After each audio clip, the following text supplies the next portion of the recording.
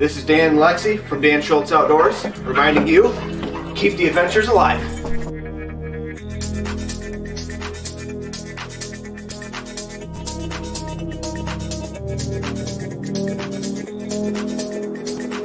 Hey y'all, I'm Johnny. And I'm Colleen.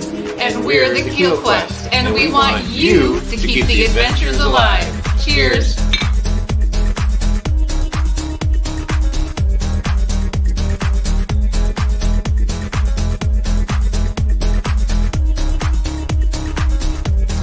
Hey, this is Darren from Ride Paddle Repeat, encouraging you to keep the adventures alive.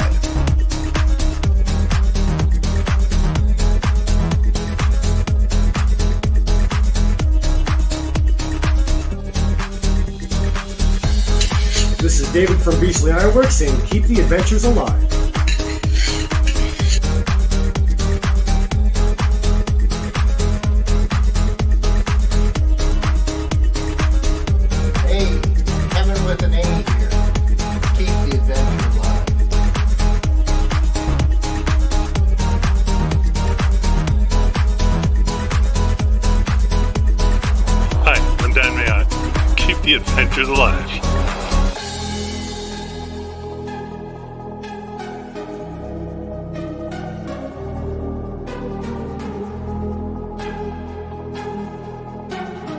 I'm Kevin Cowan, the Happy Camper.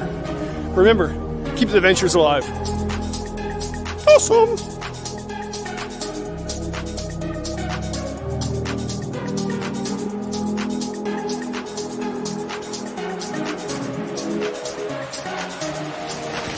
Woo, buddy! Shug here! Keep the adventures alive. I am.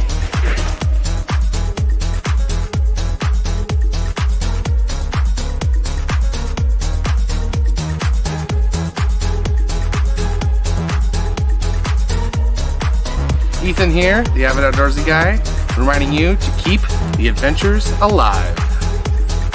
We're John and Aaron. Keep the adventures alive.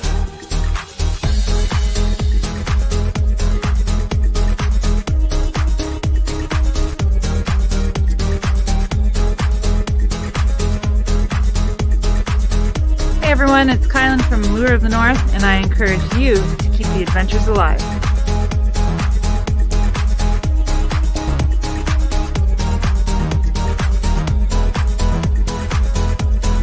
This is Sky North telling you keep the adventures alive. And now on with the show. Disclaimer This episode has been produced to bring awareness to everyone of the dangers of wild animal encounters in the backcountry. Wild animals, big or small, are very unpredictable and should never be fed or approached. Canoe Hound Adventures, Canoe Hound's Outdoor Adventure Show, and all persons in this episode assume no responsibility or liability for the information shared in this show.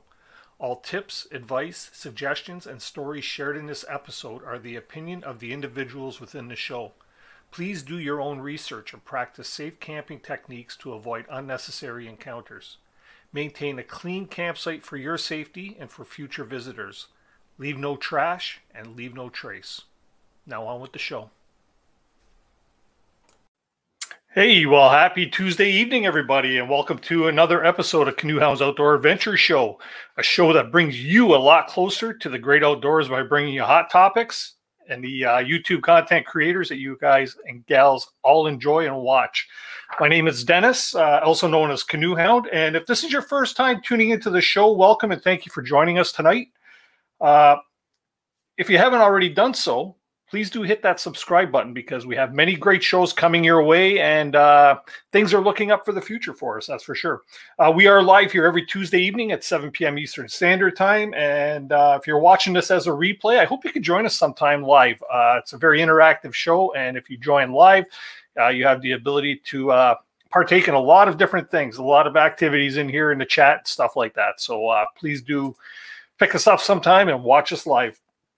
Uh, let's see here. Before we get into tonight's show, which, uh, as you could tell, or I'm sure you've seen the thumbnail, is a show that uh, I've been asked to produce for uh, quite a while, and uh, you know, I'm glad to bring it to you. But I had to throw that disclaimer in because there are a lot of different opinions when it comes to dealing with wild animals in the backcountry, especially when it comes to bears. And uh, we try to, we're going to try and cover a lot, but the best thing you could do is uh, ask a lot of questions, learn a lot yourself, and uh, use your common sense out there. That's for sure. Uh, I'd like to start with a bit of channel news before we do get into our guests tonight. Uh, let's see here. We've got uh, tonight it's marking a milestone for us this is actually the first episode that we're uh, we're running tonight that is actually live streaming here on youtube and on facebook as well so if you're watching over on facebook thanks very much for uh, for tuning in on facebook and uh, feel free to jump over to the uh, canoe hound adventures over on youtube and watch them live there. It doesn't matter as long as you're watching and you're learning that's always a good thing. Uh, last week's show we were joined by preston sear from uh, the 2021 paddle in the park contest and we had a lot of discussions about that. We had some past winners and past volunteers in the show and uh, we shared a lot of stories. It was actually quite a fun show and uh, they're glad to be bringing it back this year. Last year they missed due to this whole covid thing but uh, this year they're going to be back in full force, and uh, the wheels have started turning already on that. So if you missed last week's show, feel free to jump back into one of our playlists on uh, Canoe Hound Adventures, season two of the show here. And uh, you'll find last week's show. You can watch it whenever you want. You can watch bits and pieces, whatever. But uh, feel free to tune in there and check it out as well. Uh, last week, uh, congratulations to last week's swag giveaway winner, who was Chris McGyver. He won a Canoe Hound Adventures prize pack along with some goodies from Algonquin Outfitters and some really good swag that Preston uh, Sear had actually given as well for or so, some stuff that he had from Paddle in the Park last time and uh, some great prizes. So uh, I've been in touch with Chris. Congratulations, and uh, your prizes are in the mail. So that's an awesome thing there. Uh, once again, I wanted to throw a huge shout out to uh, some of our membership supporters, uh, those that support the channel uh, through our memberships. Uh, Donald Kelly is a new member. Uh, we have our solo paddler members, Sky North, Kevin with an A, and uh, Jeremy Wallace. Thanks very much for your ongoing support. If anybody is interested in becoming a Canoe Hound Adventures member, uh, up above the chat there, I put a, a link there, or you can click on the link below that says join. And uh, all new members will get their Canoe Hound Adventures bottle decal, their channel member sticker. Uh, that'll come in the mail uh, soon after becoming a channel member. And uh, just something that we're uh, we're launching at the end of March for all channel members that are still members at the end of March. Uh, we will be doing a Canoe Hound Adventures swag giveaway. We've got some great prizes that we'll be throwing your way uh, to one lucky winner. So uh, you'll want to make sure that if you want to be a part of that, then you can uh, jump on and become a channel member. Uh, all the information is down below. You can check that out at any time. Uh, I'd also like to thank some of the uh, businesses that help support Canoe Hounds Outdoor Adventure Show. I always start off with my sip of coffee from the Backcountry Coffee Company. Thanks very much, Kyle. Always good stuff. And it's always really hot out of a tin cup. Always really hot. Good thing I poured it like 20 minutes ago. It's cooled down a bit. But uh, yeah, so we got the Backcountry Coffee Company, uh, our good friends over at Kid Products, makers of the Kid Twig Stove as well as a reflector oven.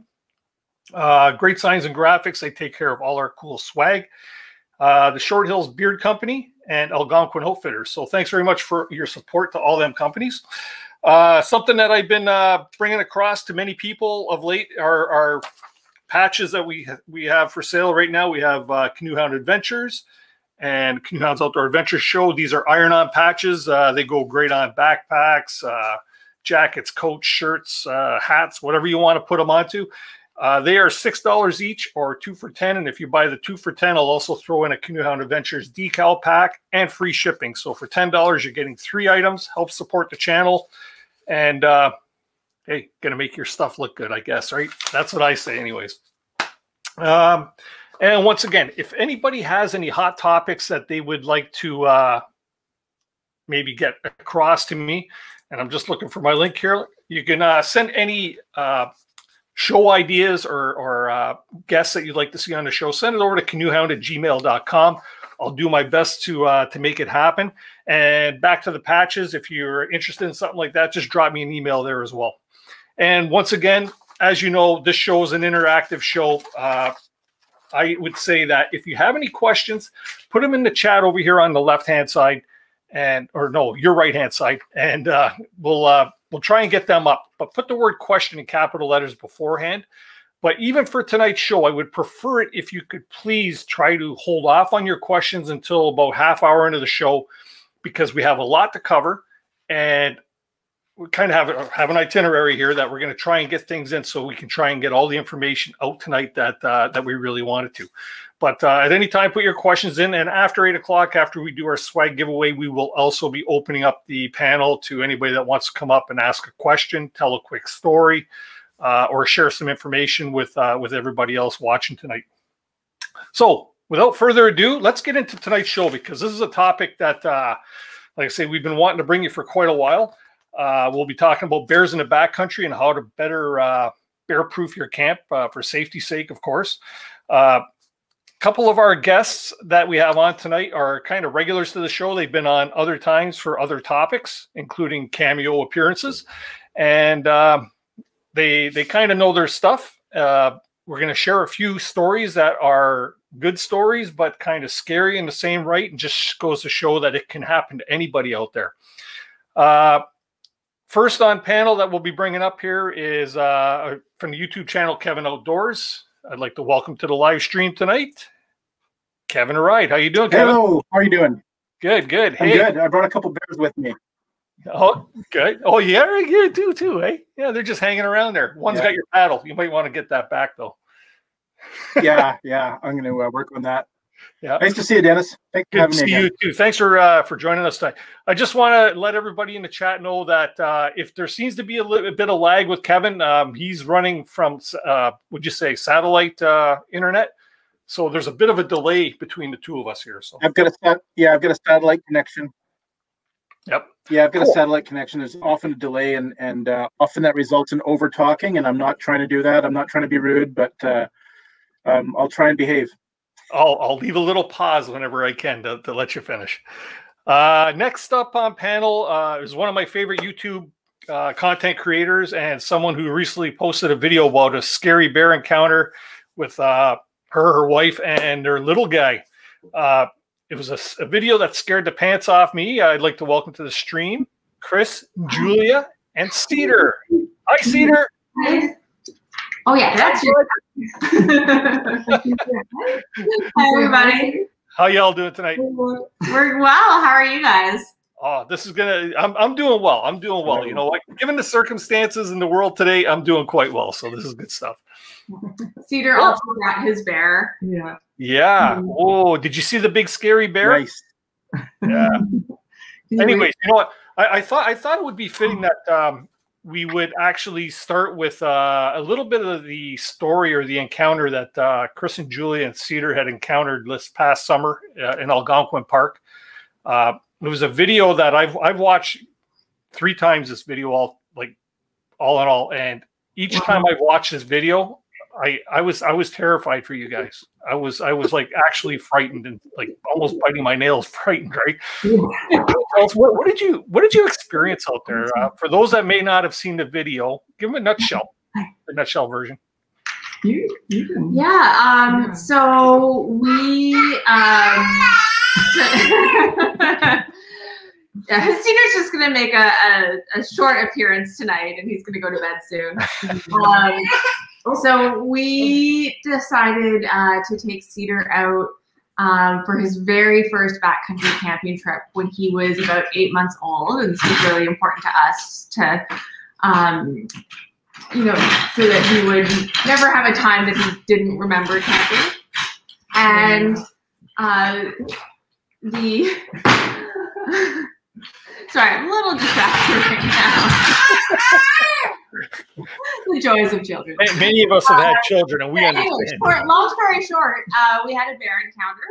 Uh, we all came out safe and sound, which is really good. Um, but the bear did manage to uh, eat all of our food. Um, I must say, Chris is an amazing storyteller. I was more fearful watching the video than I was at the time that the bear encounter occurred. Yeah. Yeah. It was uh, the, the story did come across very well, and the, the way you narrated it, Chris, was uh, was, was awesome. Yeah, the, the pacer. Julia, you were a brave gal to get out there, and the way you were confronting, I they say that the the mother bear and the cub don't get between them. Well, Yeah. say the same opposite, right? Like you're out there standing your ground. Yeah, I I just had in my head that like everything that I've been taught through outdoor education over the years is just that black bears you have to be big and loud and um, and scare them off. So I just had in my head, and I, I've recently been watching that show Working Moms, and I remember in the first episode, this like woman has a bear encounter, and she just like ah, screams. So I did my best impression of that. I thought at the time that I sounded really scary, and then when I watched the video, I realized that I sounded pretty scared. Um, but um, it, uh, to my surprise, the bear was not as scared of me as I thought it would be, and thank God we had bear spray. And he, he was a big old brute, wasn't he? Like he was a big male bear. Like that. Yeah. I, I, I've seen plenty of bears in the backcountry, and that there, like from what I seen on the video, was probably one of the biggest bears I've ever seen. He was big and around. Eh? Yeah, and quite aggressive as well. Yeah. Yeah, he, he knew what he wanted. Yeah, something that we learned uh, that we weren't aware of at the time was the the huffing and the chomping that the bear did was a sign of aggression. Um, and at the time, we didn't know that. We, we did have some bear safety knowledge with us, but we didn't know about that specific detail. Uh, and so at the time, um, it, it was a bit of a triangle between the bear, the tent, and the food. Uh, and the bear was never approaching the tent. The bear was always approaching the food. Yeah, it was very clear that that's what he wanted. Yeah, and Julia Julia effectively put herself between the bear and the food, um, which is pretty pretty uh, brave. Yeah, in hindsight, right? Yeah, and um, the bear eventually got within about two meters of Julia, and Julia gave the, the bear a light spritz of the, the bear spray. Um, and that was actually enough to send it back into the forest. And I think, I think that, you know, we, I, I think I'm going to put this guy to bed. I'm sure that the he sounds like he's having a whoop roaring time over there. thank you, thank you for everybody's patience with the, the okay, can you wave bye? Cedar, do you want to say wave bye? Bye, Cedar. Okay. Bye, Cedar. Uh, but yeah, uh, thanks, thanks for everybody's patience. Uh, so um, yeah, effectively what happened was, oh, Cedar's going upstairs. Um, the bear, the bear finally came within two meters of Julia. We gave the bear a light tap of the bear spray. Well, Julia did, uh, and that was actually enough to send the bear back into the forest. And in hindsight, I sort of wish we had given the bear uh, more of a full blast of the bear spray because it probably would have had a, more lasting effect on the bear. Um, but you know, we like we've been camping in the park for uh, like me for a decade and Julia for almost two decades now, and you hardly ever see bears in the backcountry, and they usually go the other way. Um, and at the time, we sort of felt like, you know, if a light mist of bear spray was enough to send it back into the forest, then two full cans of it certainly would. Um, and at the time, uh, it was also getting a lot darker uh, than the, the video leads on uh, because the camera was filming in aperture priority mode. Uh, the ISO was set to auto, so it was exposing for Julia's face and making the sky look blown out, uh, and effectively didn't. It effectively made it appear as though it was earlier in the day, when in reality it was actually getting quite dark quite fast. Uh, and the other thing that played into our, our consideration to stay there was um, we didn't have much paddling experience at nighttime either. So we ultimately made the decision to stay uh, just because it would have been really challenging to, to, pack up really quickly and paddle out before the dark. Uh, and in hindsight, it's really easy to say now that you know we we should have we should have left, uh, but we more or less made the decision that we did at the time with the best information that we had available to us, uh, which I I will admit was incomplete. Um, but yeah.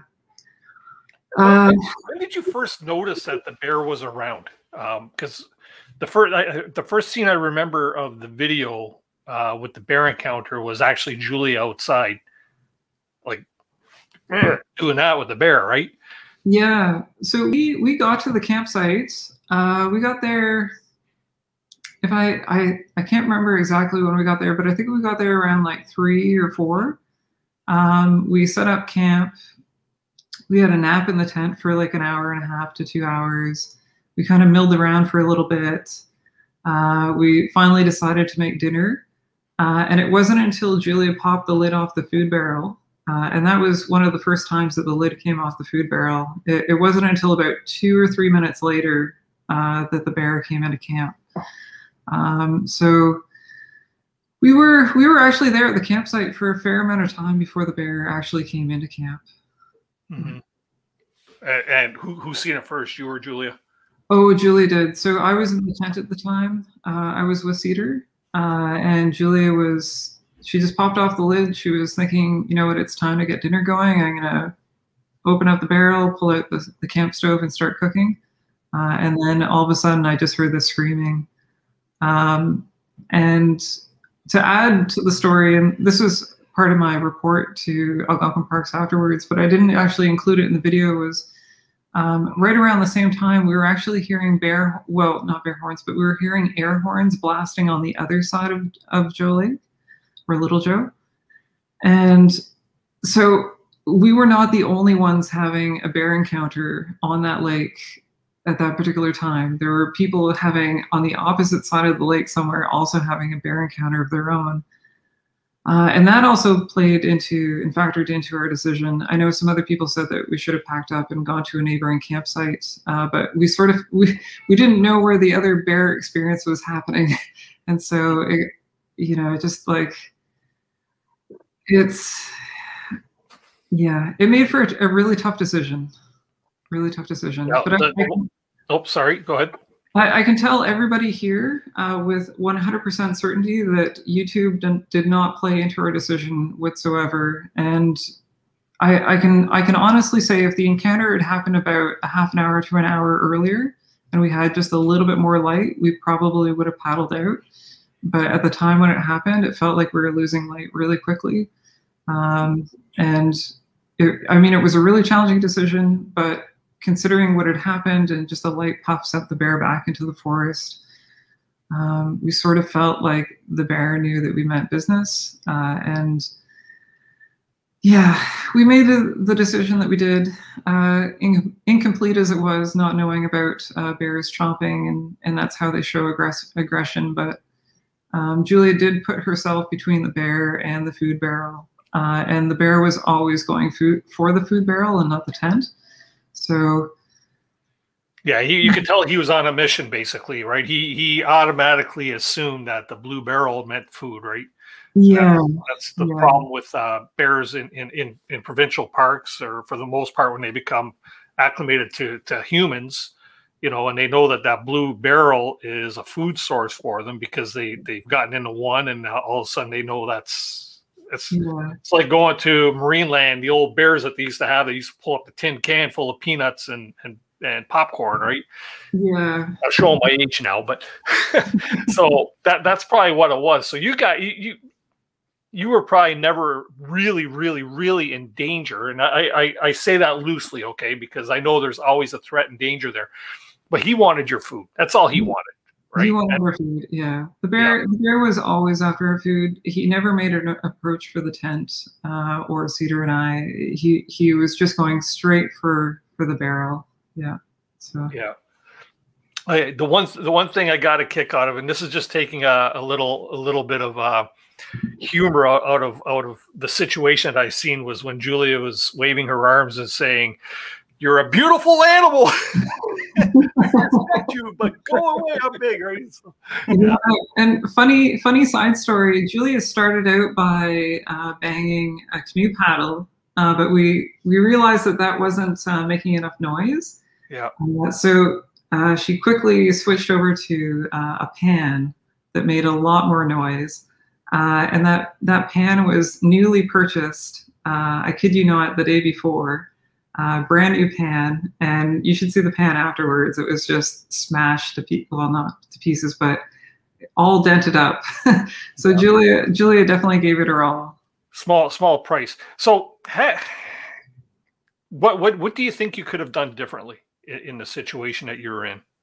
Um, I I do wish we had given the bear a full blast of bear spray. I wish we had, you know, given it like if, and I'm sure we're gonna get to to Kevin's content very soon. But uh, Kevin has has some incredible videos on bear safety and bear awareness that I would encourage everyone here to go and watch uh, because Kevin is a wealth of knowledge when it comes to bears.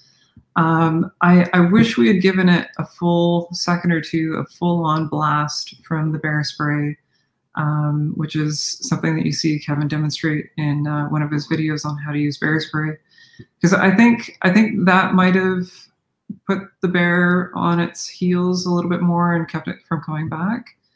Um, we at the time we didn't think it would come back, and knowing what we know now, uh, in hindsight, it's it's really easy to armchair quarterback it and say, you know, we definitely should have left it, I left the site and braved and braved uh, paddling in the dark.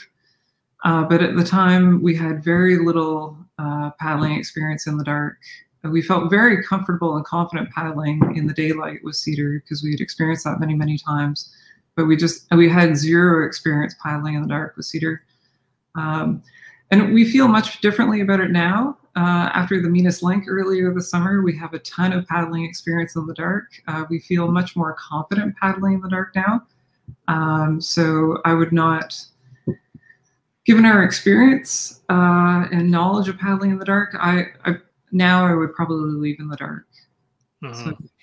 So, so now you, you, Julia, and you scared away the bear the first time and then he proceeded to come back in the evening and he got into your food barrel. You said he come back three times, like he was at in the camp three times. Uh, a total of three times, yeah. So he came yeah. back. Um, I um, the details. Uh, so he came back uh, shortly after we got the barrel up, um, and then he came back for a third time in the morning. Yeah. Mm-hmm. yeah. Wow. Crazy. He, he, he, wanted it. I just he like to say that uh, yeah, I'd like to say I, I don't think you can uh, second guess. You know, you were there. Only you know what you could have done then, and you only you know. Um, there's lots of armchair quarterbacks. I've had lots of comments about my videos about you. Sh- people should do this and that, and people get very, very. Um, I don't know. They develop their idea of what it was like, and only you know what it was like because you were there. Um, I had a similar uh, encounter. I told the story in my first time uh, on Dennis's show, where just like that, it was getting dark, and we had some people that uh, uh, my mother-in-law was with us, and she had a, a, bad shoulder, and and like, well, we could jump in the boats and go away, but where do we go? Can can she paddle? You got to make a decision and and live with it. So um, you did just fine. Uh, people people ask me what what should I do better? I said, well, you're alive, right? So you did it right, uh, and you probably learned something along the way. Yeah, that, I think that's yeah. Th- thank you for saying that, Kevin. Um, and we we had reservations about whether or not we should share the video. Um, I had mixed feelings about sharing it, uh, but I think what we ultimately felt was it was a cautionary tale that hopefully other people could learn from. Um, and something that I came across and I've come to recognize is that you can have a lot of experience in the backcountry, but not be very experienced with bears. Um, and yeah. I can't tell you how many people thanked me afterwards and said, I've been camping in the park for 20, 30, 40 years. I've never had a bear encounter like that. I didn't take bears very seriously, but I will now. I will, I will take bear spray with me. Um, and I, I, think it also really hits home the importance of leave no trace. Um, that that should have been a bigger warning sign to me when I first pulled up at the campsite and saw trash, new trash, new food waste trash in the fire pit. Um, it should have been a bigger warning sign to me, and I, I think it, it it is a cautionary tale that hopefully hopefully it makes everybody take leave no trace a little bit more seriously because you never know who's going to be coming to camp at that campsite after you and what kind of wildlife you're going to attract to the campsite because of it so so important to leave no trace mm-hmm. um, and after we cleaned up the site, we we did a very thorough, exhaustive cleanup of not only our uh, our food barrel that had been torn apart, but we also went around the campsite and cleaned up everything that was floating around the campsite as well, uh, which which was not great. It was uh, those those campsites were unfortunately quite quite littered. So. Mm-hmm. Yeah, just so everybody in the chat knows, uh, Brian J, one of my moderators, has uh, posted the link to uh, Chris and Julia's video. Uh, give that a watch uh, if you haven't already watched it. Give it a watch after the show, of course, but uh, Yeah. give you something to watch after the after the fact. But I would say what is ultimately more important is to watch Kevin's videos because uh, we are by no means bear experts. Uh, we have some bear knowledge, but we our breadth of knowledge is not nearly as deep or as thorough as Kevin's. Kevin, Kevin, my hat is off to you because uh, you've done an incredible job with your videos and the bear safety elements that you've got in them. So I would encourage everybody to go check out Kevin's videos.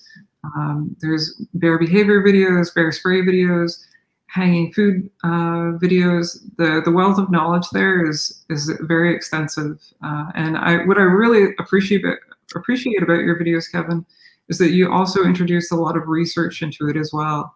It's backed with a lot of research, which I think is very important. Yeah. We, we Yeah, will thanks, get Chris. Into uh, appreciate now that. all Yeah. the safety stuff or the stuff that that advice and tips. Uh, and we're going to be really picking your brain here, Kevin. But I just wanted to show Chris. Uh, I, I downloaded a couple of pictures that I had found on the internet a long, long time ago. And uh, the amazing thing was, is the bear actually got their food while it was still hanging, popped the top off their barrel, and got all their food. And Chris was actually wondering how that happens, right? Well, I found these pictures.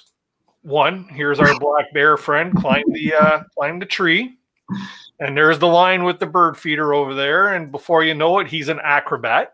Oh my goodness. And then before you know it, he's popping the Oh top my off your food barrel.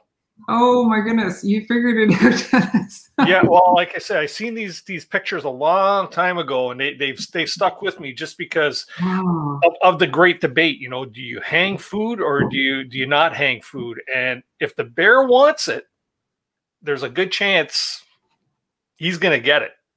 Yeah. You know what I mean? So I, I just thought I would share that with you, Chris, because like I say, that that'll give you a little, you know, how to like he, he's not a magician, he's an acrobat, right? Yeah, I was scratching my head. Like I, I like in the, I say in the video, I've been laying awake at night thinking about how the bear got in there. So I appreciate seeing those photos. Mhm. Uh, that explains uh, a lot. Yeah. Um, Now, were were you, were you hung on on one of the uh, parks wire things that they they put up for that? We were, yeah, the pre-set up bear hangs. Uh, Yeah. yeah, which we've come to recognize is probably not. I mean, if you're inexperienced at making bear hangs, it's it's probably your go-to. But you know, a better place would probably be like way back in the bush somewhere, um, and preferably higher. I don't know, Kevin. You probably have more to say. Yeah, we've, we've got a lot of visuals to share tonight. So where do you want to start, Yeah. Kevin? Uh, well, what, why don't we start with uh, the, the campsite picture I, I shared with you, um, the, with the the food and the campfire and the tent all separated.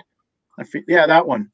That one? Um, so so as I told as we talked last time, I was on. You know, I'm I'm working on a a book about uh, backcountry f- uh, food, and um, this is the classic, you know, tent cooking area, bear hang spot that you see in every book but I've never found a campsite like this. no, like no. like you know, sleep away from your cooking area, uh, your sleep away from your food area. That makes logical sense. But I've never, you know, look at the distance there, 60 meters. Um, I've never been to a campsite like that at all.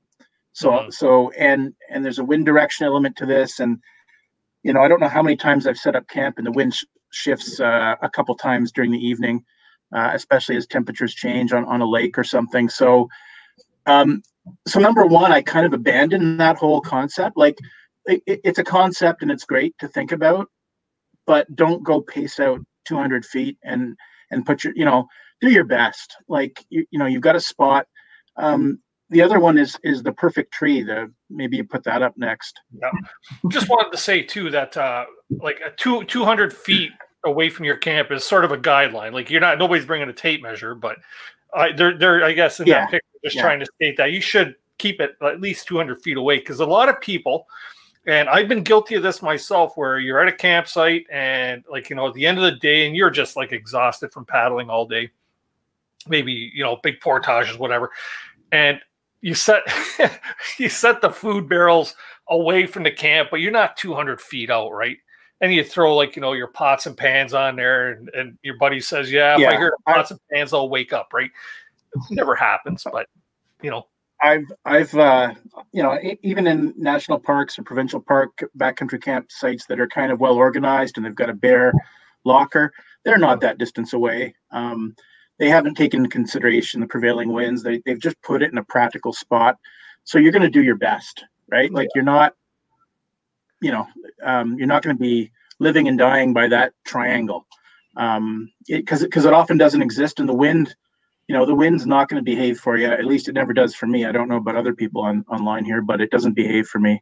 And then the, No. the other one is the perfect tree right? Um i've, I've got i threw that concept up. Yeah let's Um, uh there we go. I got a Perfect. drawing about that and yeah i mean I, ideally you want this magical tree which um has a nice branch in certain places. You know maybe in algonquin with lots of red pine you might get a, a good branch that allows you to hang your bag at least five or more feet away from the trunk. Five feet actually probably isn't quite enough. Uh, but you also want to hang it down from the top because the, a bear can crawl up and and climb down. Yeah you're uh you're trying to get into that here. i was Um, just peeking that's all. and so yeah and, and so how often how often do you actually find that setup um yeah. I've often you know i've camped above tree line um, where there are no trees. I've camped uh, i haven't done in the gone to the tundra but that exists as well. I've been in areas in the boreal forest where the black spruce are so small that, that there are no branches so you're not gonna you're not gonna do that. So um hanging your food uh, there's a lot of folks now uh, with lots of experience that are saying, well, it's it's not always necessary to hang your food. If you're in, I I sort of categorize it as front country or back country. If you're in the front country where, you know, as as Julia and um, Chris found, they they they found a mess at their campsite. They found trash, so that's kind of front country, and people have been there before there's a good chance the bears are habituated and they may know what to do when they find a bear hang. So putting up a, a bear hang may or may not be all that practical. Um, there's also, you know, if you uh, if you try and set a bear hang, it can be, be difficult. Uh, just throwing a rock over a tree, just tying a rock uh, to a rope is a challenge, and then throwing it. Often it'll come off. Often it'll swing down and hit you in the head. Um, there's a whole knack to that. I've got a I've got a bear bag uh, kit here with, with a little baggie uh, that you put rocks in, and, and this is what you throw, and it makes it makes a world of difference. Um, you want to hold that up and show everybody so, sure, sure, it's a little baggie that goes with uh, with a larger bag. This is the food bag here. I get my left and right mixed up on this screen here, and there's a little bag here that goes with it. Uh, right now, it's got rocks, and so you can tie your throw rope to that. Makes it much easier to get over that little hurdle of, of getting your rope up in a tree. Um, but sometimes, you know, your your food bag or your barrel gets really heavy, and that can be hard to hoist. Especially, you know, people are often minimalizing. They're using a very a very small piece of cord, right? And um, the friction, the, the bigger the, the load on the other end, yeah, even if you get this over, I'm a big guy, I can pull a lot of weight, but the friction on a little branch is going to just make that so hard to pull. So one thing I, I do is I bring I bring a pulley, um, which makes a big difference. You can tie this, you can throw this over, you can you can lower it down, put a rope through this, and lower it back up, and and that'll give you a, a friction advantage if you're bringing a, a very thin rope. So that's that's another that's a, another method. Um, so so if I'm in the front country, I'm going to hang my bear bag, or I'm going to try my best. Um, often they're bear pinatas. I've, I've seen many campsites where uh, I was at a site where a whole bunch of people, and I've, I've been guilty of this before. You know, you put all your food into a big bag and you can't get it up. You got people underneath lifting it, and other people pulling on the rope, and you get it part way up, and at the end you go, well, a, a bear's going to be able to reach that. That's just a bear pinata. So Mm-hmm. so is that really worth doing or not? But um, in the in the back, sorry, in the front country, I do that all the time. In the back country, honestly, um, you know, I'm in I'm in northern Ontario, right? Um, I I have the luxury of camping in places like Wabakimi and Woodland Caribou, and those are easier destinations for me. And you know, when I'm in when I'm in uh, Woodland Caribou, our last trip, uh, Todd didn't make the show, but our last trip we saw one other party the whole trip.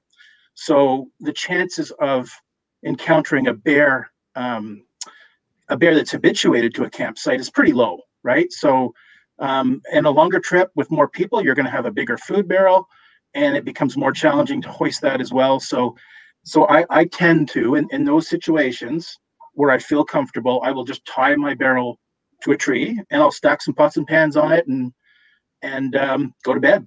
And I'll I'll put bear spray and an axe and some bear bangers uh, in the vestibule of my tent and um, sleep well.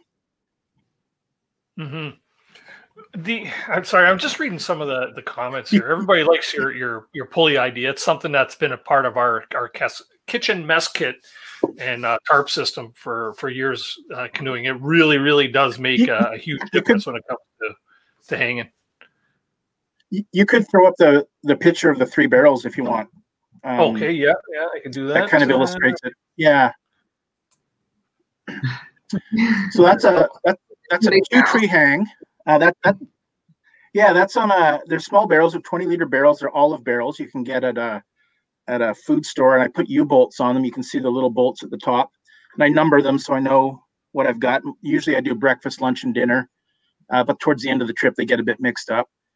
Um, so that's a two tree hang where I've got a rope from tree to tree, and on that rope I've got uh, three loops tied, alpine butterfly knots with three pulleys, and I've pulled the food up uh, accordingly. That was a a two week trip we did with um, our two girls when they were quite young.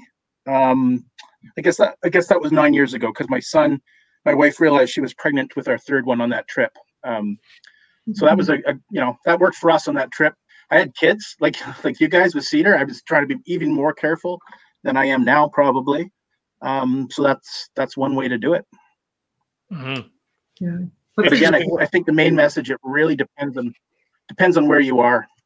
Well, that that's the whole thing, right? Like uh, we can get into the great debate, hang or not hang, right? And you have to you have to judge the situation or, or weigh out your situation. Like you say, in a lot of cases, one you can't find any trees to hang by, right? Uh, let, us let's take a little poll of uh, people in the uh, in the chat. If you if you've not been able, or if you've been to a campsite where you haven't been able to find a, a, a place to hang, put a number one in the chat. I just want to see. I bet you most people are in that in that case, right? Uh, even at Algonquin Park, um, I'll give you a, a, quick little example. Last year, I did uh, I did a little trip. It was a solo trip up to to Bonnechere Lake. Uh, started out at Smoke Lake up to Bonnechere, and the campsite that I camped on on Bonnechere, which was across the point from your one of your favorite uh, sites there, Chris and Julia. Um, there, I went back into the bush to find this, like you know, to find some place to hang because there were all kinds of, of there was bear scat all over the place. The one campsite I went to, it was in the spring, early, early spring. Uh, I guess a bear had unplugged on the campsite, and just like there was, I'll say it on the show, there was bear shit everywhere. And I'm not talking like piles of, I'm talking like you have to watch the video. It's everywhere. It looked like something exploded, right? I get back to where you could tell everybody had been hanging because there were a few trees that had a couple limbs, and all around the area there were rope pieces hanging down, and below the rope pieces were piles of bear scat. So it was the only place at that campsite where you can actually hang your food, right? So I hung the food there, fully expecting in the morning I might not have, have anything when I got up because obviously the bears have been getting the food because they've been snapping the ropes. I don't know, jumping up, hanging because I could jump up and touch the rope, right? But there's not always that condition where you can actually find a place to hang your food, and that's that's what makes it difficult. You, you can say it till you're blue in the face, yeah, hang your food, hang your food. But if there's no place to hang your food, what if you're in a in, a, in an alder area? You know, all yeah. all small spruces or or like you know, it's it's not possible. One of the What things do we've done, um, so I, I like a two tree method, a two tree bear hang method. If if I, I can't find a tree with good branches, um, if you're in small spruce, it is possible to bend the whole tree down and tie your food to the end of it, and then let it go up. A, a bear will have a hard time climbing a very small tree. Um, again, it's just the best you can do. I, I have done that once. Um, yeah, but a, a, a two a tree a two tree method makes a lot of sense. But if if you're in an area where the bears are habituated, it's going to do what they did to Chris and Julia and just you know do the high wire act and get to the middle of it. And that's why you want it to hang down substantially from that that main line. Mm-hmm.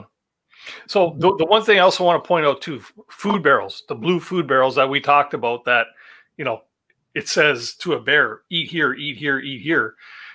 People call them bear barrels quite often thinking that they don't give off scent of food, uh, that your food is well protected within there. I just wanted to share a picture here that I found on the internet as well. And this is what a bear can actually do to one of them barrels. Yeah. Uh, that's nothing for a bear. Nothing for a bear. You know, if they if they want what's inside, they will get what's inside. Um, you know, And we we've always known that they're not bear proof. Yeah. Um, you always see that bear that's been sorry that barrel that's been shredded apart uh, at Canoe Lake when you make your reservation or you, when you pick up your reservation. Um, but we would still like we would still use them uh, because we think and people have asked us would you still use them afterwards and yes we will still continue to use them because we we do appreciate them um, i think one thing that we learned that we didn't know was that a bear could open the clasp on the barrel. Um, and so that's something that we we highlighted in the video was you know we now put a ring through the clasp uh, so that it can't be opened. Um, so I think that that was an important thing to share uh, because we had no idea that a bear could open up that clasp.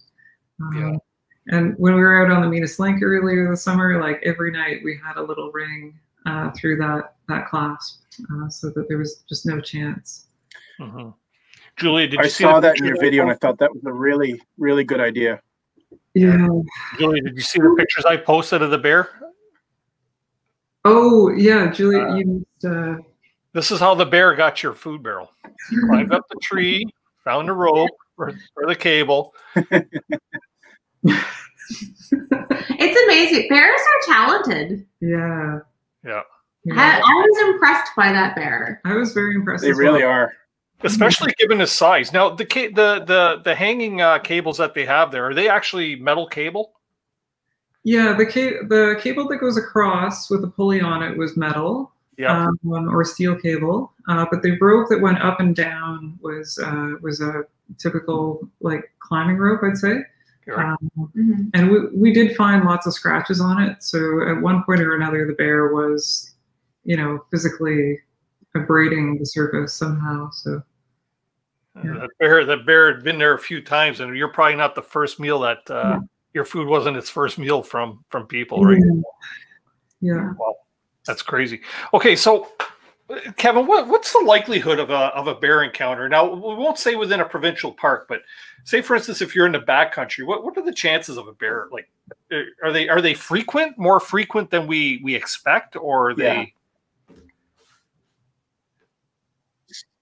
so I've, I've been doing some research um, on an upcoming video. I, I don't know when I'm going to release it, but I'm just I'm looking at bear fatalities. I'm, I'm I'm trying to go through the list of bear fatalities that occurred, and I'm I'm reading the uh, at least two stories about each encounter if I can.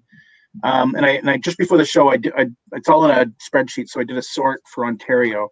Um, and I you know I'm not trying to dramatize this, but it, this this is what we're trying to avoid. We're trying to avoid getting killed by a bear um, or being harmed by a bear. So, um, forgive me if this is a bit morbid, but in the last 29 years, so 1991 was was the first um, bear human human fatality caused by bears that's on record. I'm sure they occurred before that, but if you if you go back in history, 1991, Algonquin Park, um, a woman was, I believe it was a woman, um, was killed by a bear. Since then, there have been five fatalities in Ontario. Um, so, you know, we get about two per decade in Ontario. Um, The last two uh, were in my neck of the woods. Last summer, uh, a gentleman was killed. Um, an older gentleman was killed picking berries near Red Lake. Um, he was alone, um, killed by a bear, predatory attack. Um, and a woman in, tw- in 2019 was killed in the Fort Frances area. She was out with her dogs, um, walking her dogs at her camp on an island. And um, unfortunately, she was killed. So, um, you know, it's, it's it's extremely rare that bears. Usually, they're they're habituated and they want to go for your food, um, but occasionally they turn predatory, and occasionally they see a human as a meal. Um, it's very rare, but the more time you spend in the backcountry, the more likely you're going to encounter something like that. Um, and, and, so, you know, it's, it's a shame Todd couldn't make it on here because he had a, a predatory encounter. Um, he's someone I work with, and I know a number of other people. If you Google Todd Moore bear attack, there's an article about his attack. Um, the link is in the description below. I've got several other friends because I work in yeah, because I work in forestry, I know a lot of folks, and it's a, it's a small community. Um, whether you work for industry or government or a consulting company, you know, we all kind of know each other. We all went to school together, different age ages, of course, but um, and so I know a lot of people that have had predatory attacks and have had to discharge spray. I'm not going to tell Todd's story because I, I, think it belongs to him, and um, you know, I like to tell stories, but um, it's his story. But the details are that he was pursued by a predatory bear. He went for a swim in a lake to avoid the bear. He spent hours in the water, um, you know, getting hypothermic to avoid the bear. Um, and, and the big difference, um, while we're, while we're talking about the, the differences here, is that um, a habituated bear is going to go for your food. They're going to be very aggressive. They're going to make a lot of noise. They're going to have that stress behavior. They're going to chomp and blow and um, sometimes clap their jaw. Uh, they'll do all that. Uh, a predatory bear is going to be a lot more quiet. They, they will attend, occasionally do a bit of demonstration for you, but they're going to be quiet and they're not going to come straight on. They're, they're going to tend to try and get around you. They're going to be very slow, try and walk around you and, and get you from behind. They're going to be persistent. They're trying to get you to trip and fall down and go for you. Um, so I, I, know a bunch of people that have had that experience. Um, Another friend of mine went in the lake just like Todd. Uh, if you Google Rob Foster, he's a consultant. Um, Rob Foster Bear Attack, you'll find his story. He he he discharged bear spray and saved himself once, and an exact year to the day he had another attack. He's a guy who's out in the bush all the time. He makes his living uh, doing environmental assessment work. Um, another another someone you can Google is Laura Darby, who uh, worked for us. Um, worked worked. She's a colleague of mine. She was attacked uh, by a bear, um, very badly hurt. She would have been dead if her partner didn't get her out um, and and signal for help. So it, it does happen. Fatalities are rare, but the more time you spend in the bush, uh, you know the chances of running into a, a true predator um, go up. And and, and they use typically those those attacks are are deeper into the back country. What what might trigger a bear to do something like that though? Like uh, t- typically bears are are like yeah they, they they, they, tend to eat more berries and stuff like that you know maybe fish scraps or scraps or like a rotting carcass or stuff. But what what would trigger an animal that doesn't usually attack to attack to become a predator predatory bear? Would it be yeah. the, the sex of the animal and, or? and for for for black bears it, it yeah, for, for black bears, it seems to be, and, and the classic thinking, and one of the reasons I got into making videos about bears, and I'm no expert either, but I've, I've been reading a lot, doing a lot of research, trying to make good videos, and I know folks that have had real encounters. Um, it, it tends to be um, bears that are healthy. It tends to be large males that are that are back in the in the wilderness or back country who are you know, there's a lot of theories, but one theory is they get to a metabolic state where they they're done with berries and roots. They're they're going after protein. Um, that's one theory. We don't really know for sure. Um, one one of my friends who uh, had an encounter similar to Todd, his name is Phil. Um, he had a, a, predatory bear, and afterwards, um, it was realized that he was near a dump that had closed. So it was probably a habituated bear that out of frustration started looking for for humans. But but it's quite rare. There's a woman killed by a, a grizzly bear in a lot. Um, I believe it was uh, British Columbia uh, a couple years ago, and, and, that bear was emaciated and sick. Um, and that's what we all think of is that it's a sick bear that's going to attack you. And occasionally that's true, but often it's a very healthy bear that that uh, does the attack. Mm-hmm. Wow you, you just never know. Eh? It's always to have, good to have eyes in the back of your head. Uh, just for everybody that's in the uh, in the chat, if you want to look up the article, uh, uh, Todd was supposed to be on the show tonight, couldn't make it for uh, whatever reason. But his link to his story on his uh, his bear encounter when he was actually stalked by the bear is in the description below. Uh, give the article a read. It's not a very long article. It's uh, by CBC, but uh, it's very interesting because he not only had one encounter, but his dog had a, a rather scary encounter too with, I believe it was a Wolverine or something. so that, that's a very interesting read. Very interesting read. Um,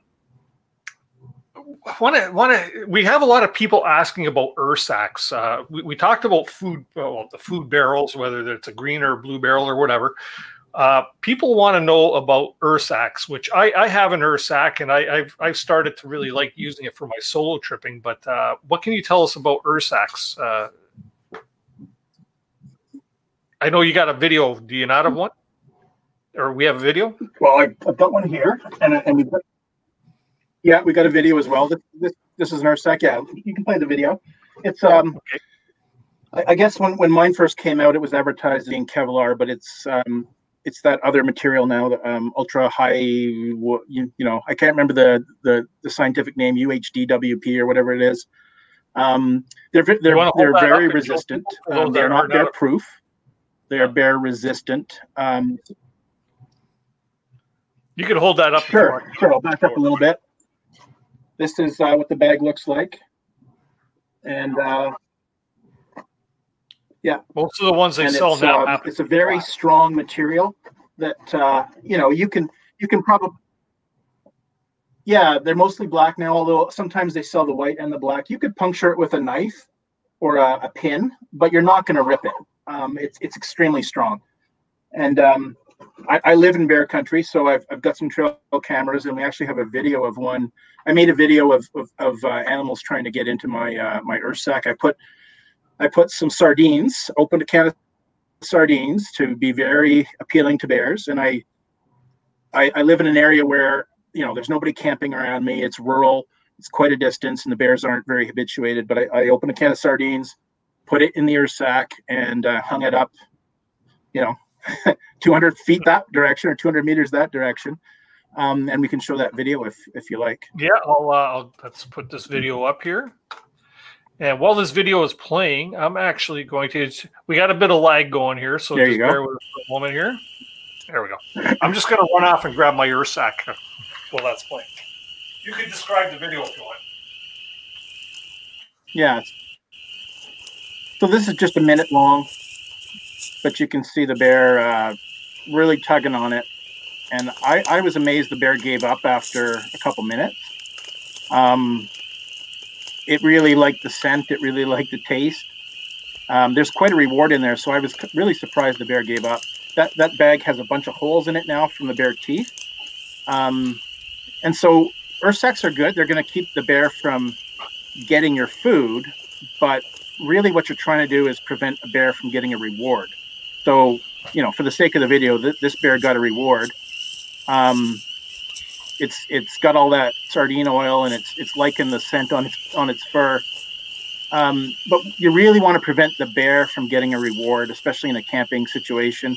Um, so if you have oil in your Ursack um, or anything like that, the bear can bite through. Um, that will leak, and the bear will get a reward. And you know, you you you move towards a habituated bear. Um, so so they have their place. Um, I use my Ursack yeah, when, when I'm not uh, getting my Ursack wrecked with uh, sardines, which I still can't get out of that one. Oh, you got you got the black one. Yeah, I've got, um, I've got a newer version. You know, I, I use them in areas that are. Yeah, and basically nice. it's uh I can't even remember the name yeah. of the material myself, but it's uh they're very tough, but in hindsight, I'm, I'm thinking, you know, if the bear gets it and he's like chomping on it, he might not get your food, but he's certainly going to destroy your food, right? Yeah, he'll destroy your food, and if you have an oil or something that'll leak, he'll they'll get a reward, which is not what you're trying to do. So they have their place for backpacking where you're trying to cut weight, um, and in places where you're you know you're not going to get a lot of bear encounters. Um, and you can hang them. You, it can be your practice. I'm going to hang my bear bag all the time. There we go. Um, UHMW. I always get that wrong. Um, you can hang your bear bag all the time. And if you get to a spot without a good tree, you could tie it to a tree the way I did. Um, and, and, again, do your best in the situation you're in.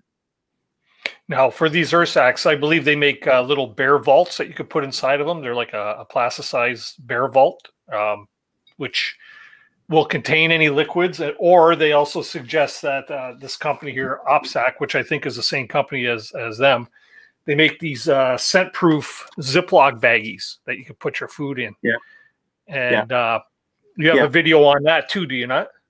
Or we have. I do. I do. If you want to play that one. So I was skeptical. I, did a uh, I did a video of.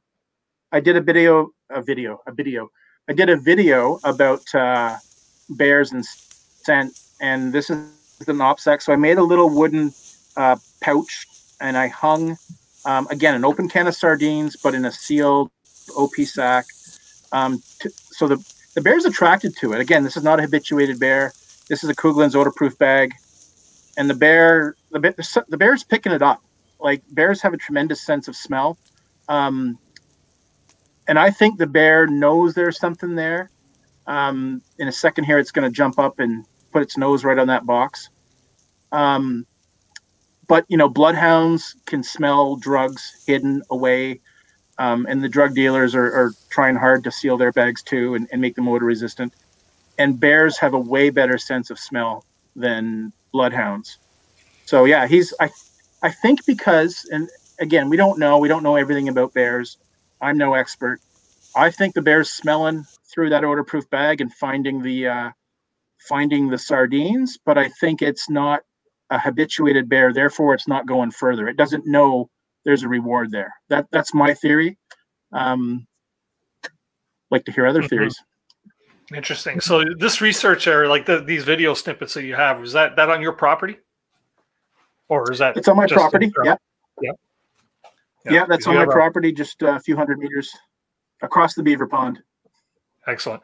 And while we're at it, there, uh, we have the other picture that you sent me. Uh, the reason why I had Kevin come on is because he does have a whole video playlist on his YouTube channel about uh, all kinds of bear stuff. So I would, I would, the link is down down in the description there again uh, for his whole video playlist.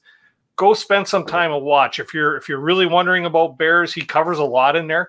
Um, he was talking about scents. I'll let you explain this one too, Kevin. Sure. Um, you know, we humans often put stuff away in a bag, and and uh, you know, we use bloodhounds to find narcotics. We use them to detect cancer. We use them for all kinds of things to locate missing people.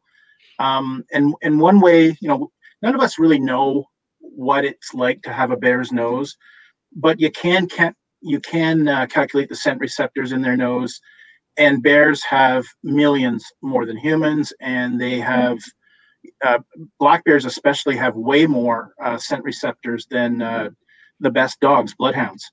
Um, and so, and they also have a, a very big uh, olfactory bulb, the, the part of their brain, the processor, if you will, that processes smells. It's it's huge. It's about ten times that of a human. So, um, you know, it's thought based on this evidence that they have a tremendous sense of smell, way better than than bloodhounds. And we use bloodhounds for such amazing things. Um, I like to tell people if if you were going to play hide and seek, what would you do as a human? Well, you'd start looking around and listening. But if you're a dog and you're playing hide and seek, the first thing you're going to do is smell the note, smell the air, right? You're going to look, and, and that if you if you're a dog owner, that's what they do. They smell the air to figure out what's going on. Um, they rely on their sense of smell. It's probably like techno vision for them, right? Like it, it's it's just very very different.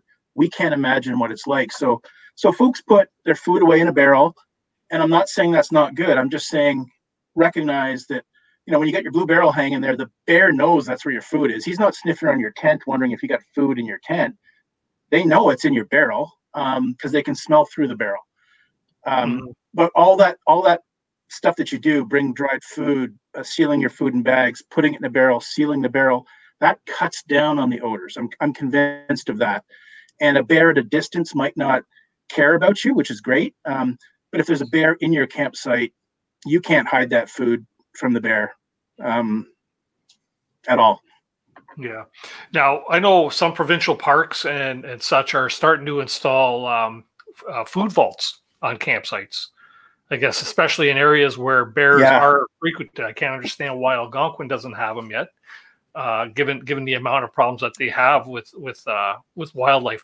One thing I want to go on record as saying too with this show tonight is we are talking about bears, but same thing goes for any wild animal. It could it could even be a chipmunk. Okay, yeah, a chipmunk might not kill you.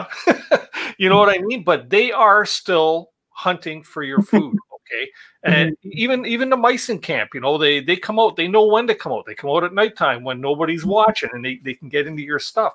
And the thing that they're all after is your food. So the best thing you could do is try and safeguard against that. You know, how, how many people have gone family camping and uh, woke up in the morning and their cooler's been ripped open by uh, you know a whole family of raccoons. Uh, we've had raccoons at our campsite eating yeah. out of our dog dish one year when we were family camping.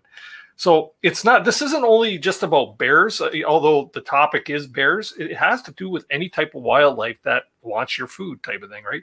But okay, so I, I was mentioning about the, the food vaults. Why, why, why is it that all these provincial parks are not installing these things to, they do it for garbage. Yeah. Yeah, I, I can't answer that question, but I, I, I do know that where they install them, it's to protect bears, and humans. Um, mm-hmm. And I've mm-hmm. got a couple pictures of them. If you want to put one up, you can. Um, but we can all imagine a metal box, right? Uh, that's foolproof. This this this was in Jasper uh, a few years ago. Um, this is in the back country. This is in the uh, the Tonquin Valley in the back country. They were just starting to set set them up. Um, bear locker for each campsite, uh, bear proof, um, and that's going to deny bears any reward they could possibly get. Um, I've got another one of an older system. This is in Pukaskwa National Park uh, on Lake Superior, so they've got easy water access. They can bring this in, and um, again, foolproof. Bears are not going to get a reward. Um, way better than a bear hang. Way more reliable and way more secure. Mm-hmm. I, I especially like food storage only, no garbage because I'm sure everybody yeah. listens to that, right? Yeah. So, well, it's with, not with that, to leave your garbage, right? People will leave their garbage and go away. no, why, why would you do that in Algonquin Park? You could just put it right down the thunder box, no? Yeah, or in the fire pit. I, I or in the fire pit, yeah. Which, which can bring us on to another topic. Okay, so do you burn your food scraps in your garbage if you can, or do you not? Right there. Here's a here's another one like I say, what we're saying tonight, everybody, is is not is not the written rule, okay? Because you have to use your own common sense in any of these situations. But me, I'll, I'll say honestly, for the most part, if there's scrap food, I'm burning it. I'm not carrying it out. I'm not going to pack it and carry it some more. You know what I mean? If my dog doesn't finish it, which usually does, so it's not very often we're burning food, but if I have to, I will burn the food. Okay. What's your take on that? Kristen, Julia, I'll ask you guys that. So, I mean, we definitely have burned our food. I think when it's burnt to a crisp, I mean, I'm not I'm not a bear expert, but I assume that if it's burnt to a crisp, that it's not really going to be providing a delicious scent. Um, I'm always surprised at the number of glass bottles or cans that are in the fire pit. I'm like, that's yeah it's not an incinerator. Those are not going to burn in a fire pit. Um, so that um, obviously I would not encourage. Yeah. Any thoughts? Yeah, yeah. Always surprised by how much garbage we find in the in the fire pit. Yeah, yeah. Mm-hmm. But yeah, I think. What's your take there, uh, Kevin? I, I think I think you know you, you're you're emitting so much smells when you're cooking. You you, you know if if you throw some bacon and eggs on, um, bears from everywhere around you are going to pick that up, and so burning food at the end of that is is pretty minor. Um, sure, and and they, and they probably they're probably smart enough. We don't know. We can't ask a bear, but they're as um, Julia said, they're probably smart enough to realize that's that food is burnt. I don't want that. like, um, mm-hmm. I don't know, but that's what I think. Yeah. Yeah. I think I think it's important to recognize that uh, when Julia talks about burning food in the fire pit, like it's it is burnt beyond recognition, and it's been burning in there for like an Oh. hour, and it's it's just it's toast. Uh, well, not toast, but but yeah, it's, it's completely gone. but No uh, pun intended. yeah, no pun intended. But uh, I think I I would encourage everybody to just like leave it burning in there for a really, really, really long time and not just like scorch it or or something along those lines. Yeah, it's got to be beyond recognition. Mhm. Toast. Yeah, that.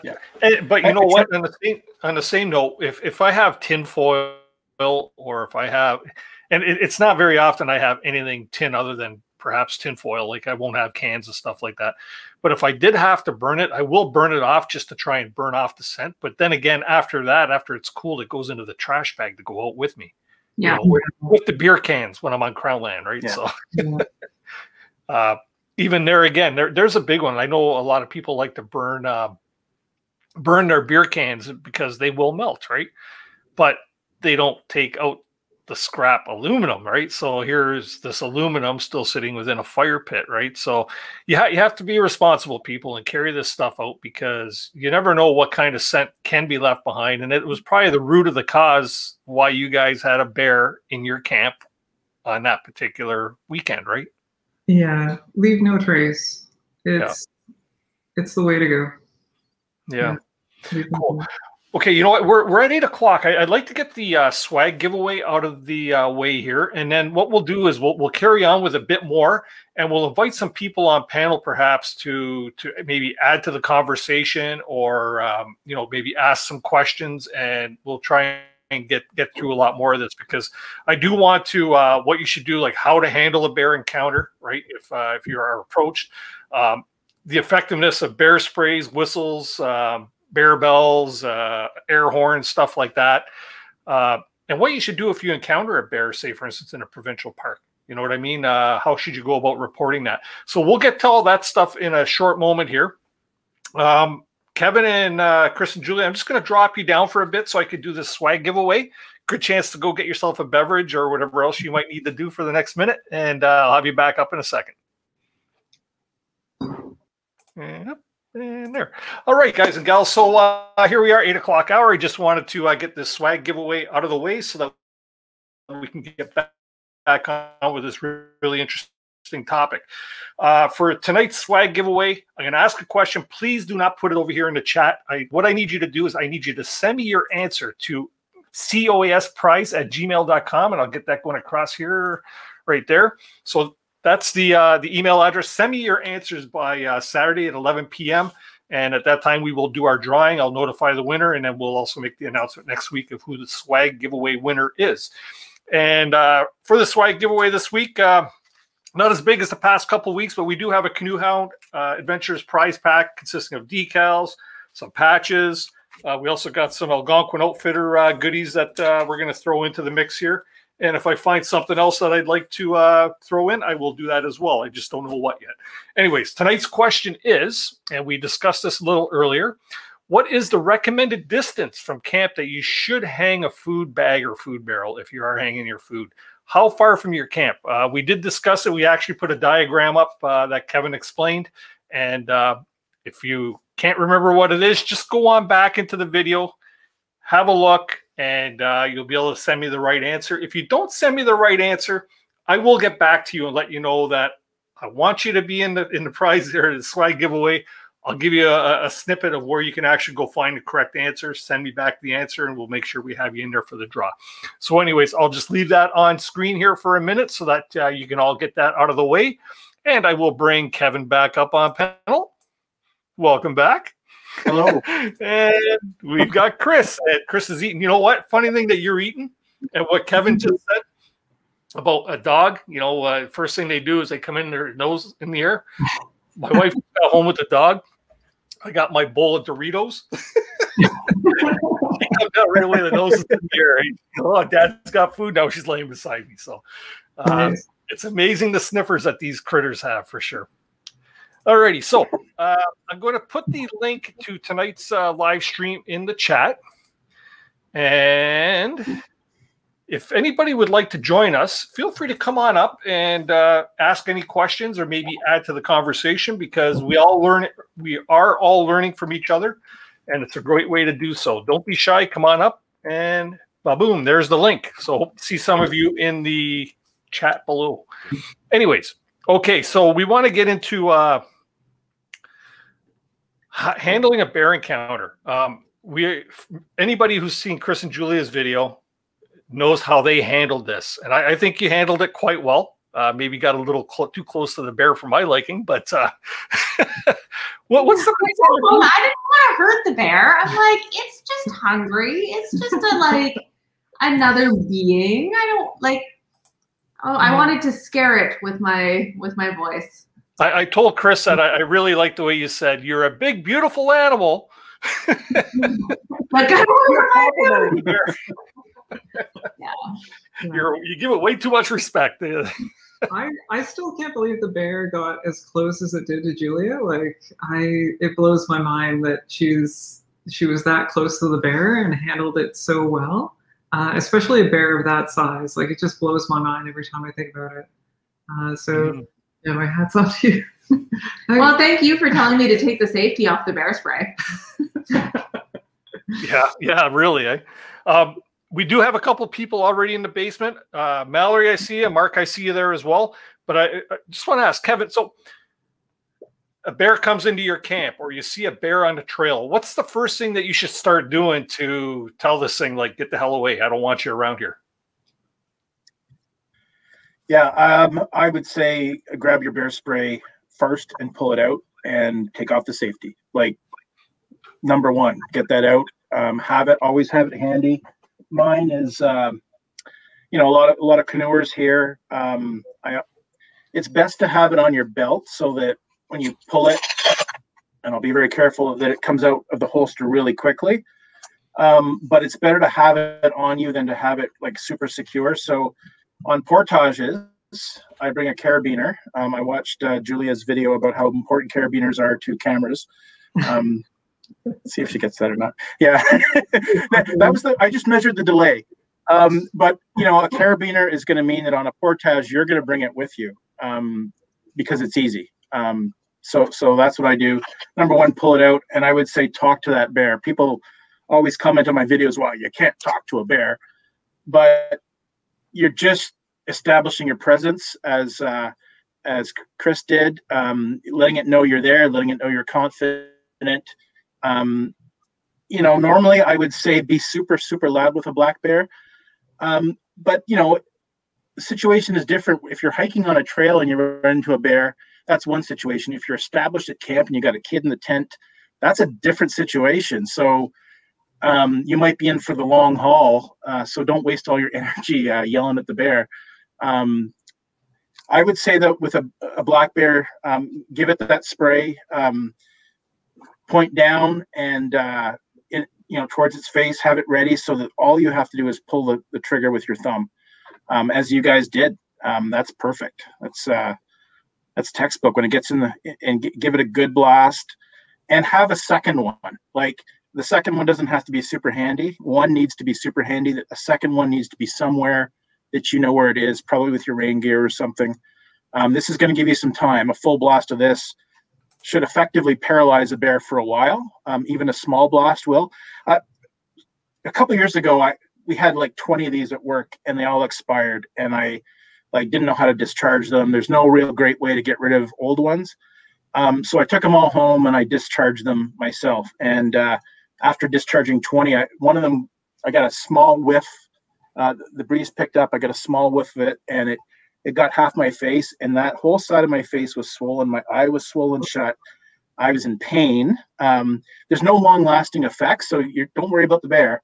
Like it, it'll get over it in an hour or two. Um, but it's it's it's paralyzing to get a to get that in your face, and it should be paralyzing for the bear. And you should have time to get away, and if necessary, find that other other canister. Mm-hmm. Yeah, I just posted a, a, a, thing there from Brian J saying, uh, "But me dumb, and I leave it in my pack, not on my belt."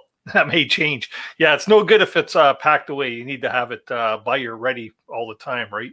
Uh, we do have a few people down in the basement here. We'll start with uh, Mallory from Quebec Homesteading. Hi, Mallory. How you doing tonight? Hi, I'm good. Good, good. Hi. Got a question for the panel tonight?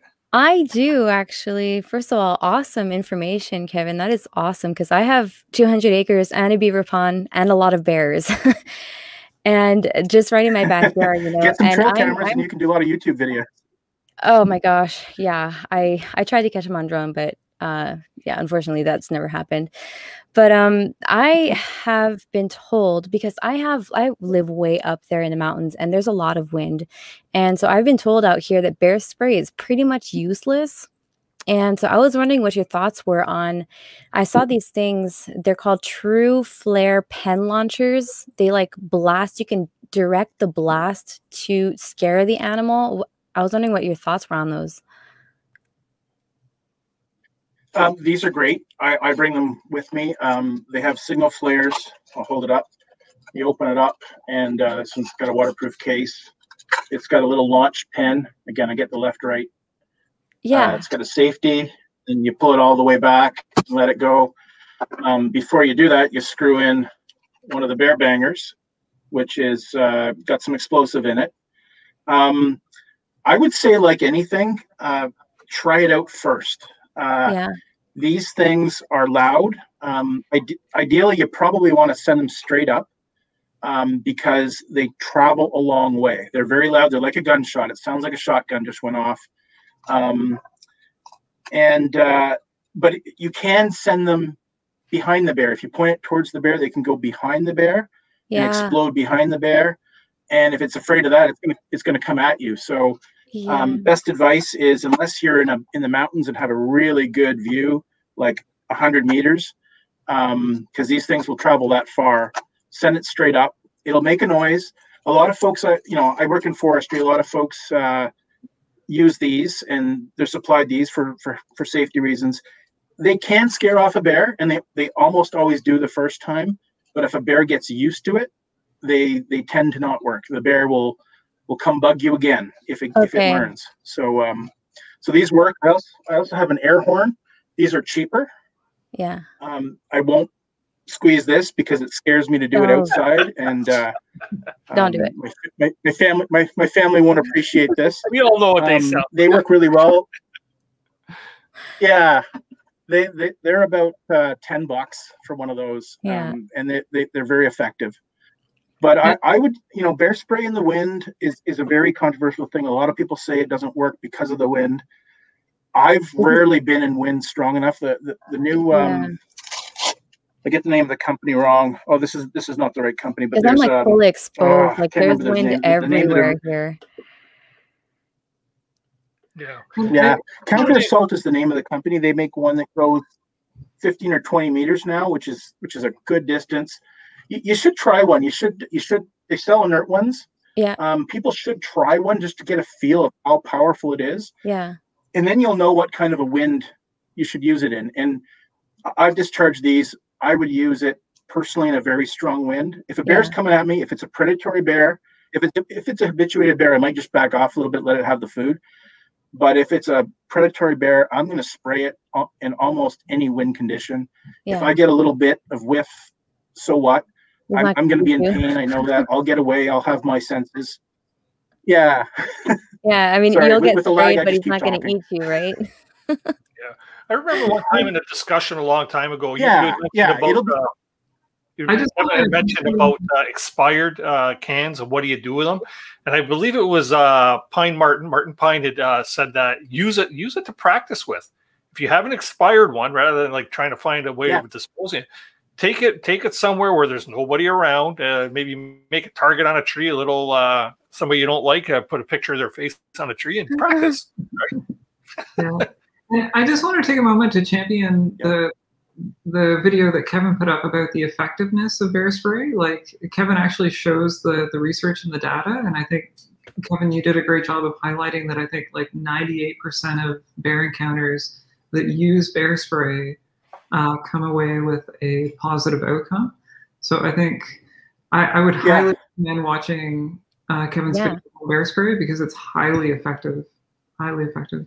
Yeah, I just I just found out about him tonight, so I'm definitely gonna go look at it because I've been I've been I've been scared for ever since Ben, my my husband, came into a big encounter with a big bear uh, during hunting season. I'm just like I'm just too scared to go anymore. Hmm. so well, you can't, you can't, let it scare you and keep you out. That's why we're talking about this here, so you could actually learn something, so you're not afraid to go out there, right? So yeah, and like I have small children, and like me by being by myself with the two girls in the woods, like that scares me. Like yeah. I need I need to figure out ways to get over it. Yeah. Cool. cool. well, we do have a couple more people in the basement. Um, if you have any follow up that you'd like to ask there before I drop you into the basement there? Uh, no, no, I'm all good. Thank you so much, guys. Thanks for coming up. I appreciate it. All right. Talk soon. Yeah. Bye. And next, uh, we'll bring up here uh, Mark from the OG in the canoe. And I see you down there too, Ben. I'll have you up in a sec. Hey guys, how's it going? Good. Good. Good. So I actually a couple of weeks ago I actually had the privilege of asking Chris about in the after show about this exact topic. Yeah. Um, but I'd just like to say, like before I ask my my question to Kevin, um, I just want to say, Julia, you were like Will Smith in Men in Black with that bear. You were like, it was incredible, incredible. Thank you. it was, yeah. Me, me and my friend were actually just talking about it tonight, and we're like, she was. He actually said that he's like, well, I thought that you know maybe Julia would be in the tent with you know with Cedar and Chris had more experience. I'm like, no, actually, Julia has more experience than Chris in the backcountry. So, you know. Yeah. Julia has a lot more experience than I yeah. do. Julia is the one who got me into the backcountry, but uh, it also just happened that you were in the tent and I was outside of the tent when the bear came. Yeah, but but Julia, for the record, Julia is the one who got me into camping. But you know, uh, I, yeah, I I know that uh, that's what I was telling him. He didn't realize that, but I think yeah. Julia was like, you know, she went fisticuffs with the bear. So yeah. you know, I think I think Julia did did exactly what she needed to do in that situation. Though, you know, you you were very loud. You made yourself look big. You know, you were you were banging pots and pans, and uh, you know, you're doing what you needed to to to to show the bear that you're not taking its scuff, right? So, uh, these are all, all the things, and you give it a little spritz of uh, some pepper spray too. But next time, let him have it. let him have it. yeah. So yeah, what have you got, uh, Chris or uh, Mark? You have a question? Yeah. For, so my, my, my question was earlier. Kevin mentioned that he he referred to bears further out in the backcountry being a little bit more dangerous, if you will, than bears in the forecountry. I've always thought that it, like the the contrary, just because like when when I've been encountered like you know I've encountered bears in the past and in, in like deep in the backcountry and they've been no problem whatsoever. Whereas bears, like when I was like car camping with my trailer or you know like whatever, have been more like oh you know yeah. I'm not going anywhere you know. So I was just wondering like like I was curious yeah. about that because I've never heard anybody explain bears in the backcountry being yeah. more dangerous. Mm-hmm. Yeah, and um, there's a good question because there's a lot of nuance to this, and I, wouldn't say that bears are generally more dangerous in the backcountry, but you're going to find predatory bears in the backcountry more often. Um, they tend to be bigger. They tend to have bigger territories. They're, they're probably solitary males, although a lot of mothers and cubs have been predatory as well. Um, in the in the front country, you're going to find those habituated bears that are after your food, and it it seems like you know that's one style of behavior bears can pick up is on a dirty campsite. As Chris and Julie said, you know, there was lots of mess. That bear, it wasn't their fault that they had trouble with the bear. It was the previous camper's fault.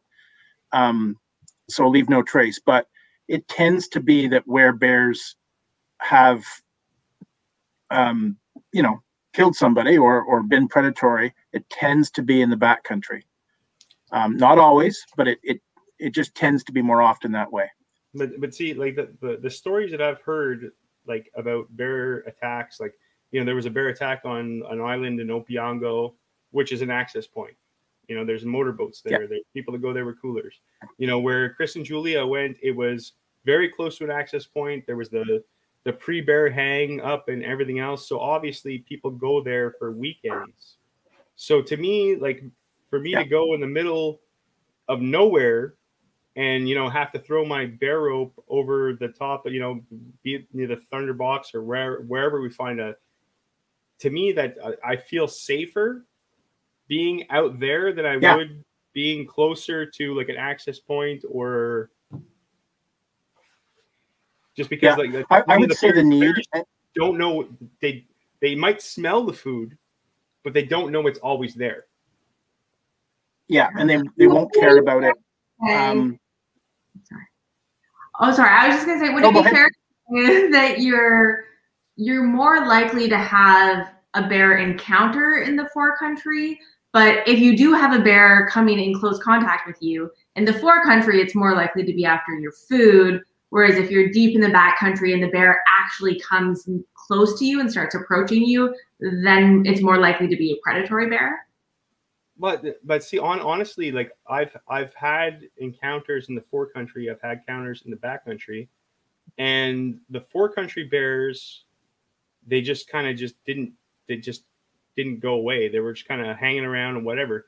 Whereas the backcountry bears, like I've had more encounters in the backcountry than I have in the fore country, and we just kind of make a bunch of noise. Yeah. you know, like and they just kind of go away, or you know, uh, we have a buddy snoring in the hammock and they're gone.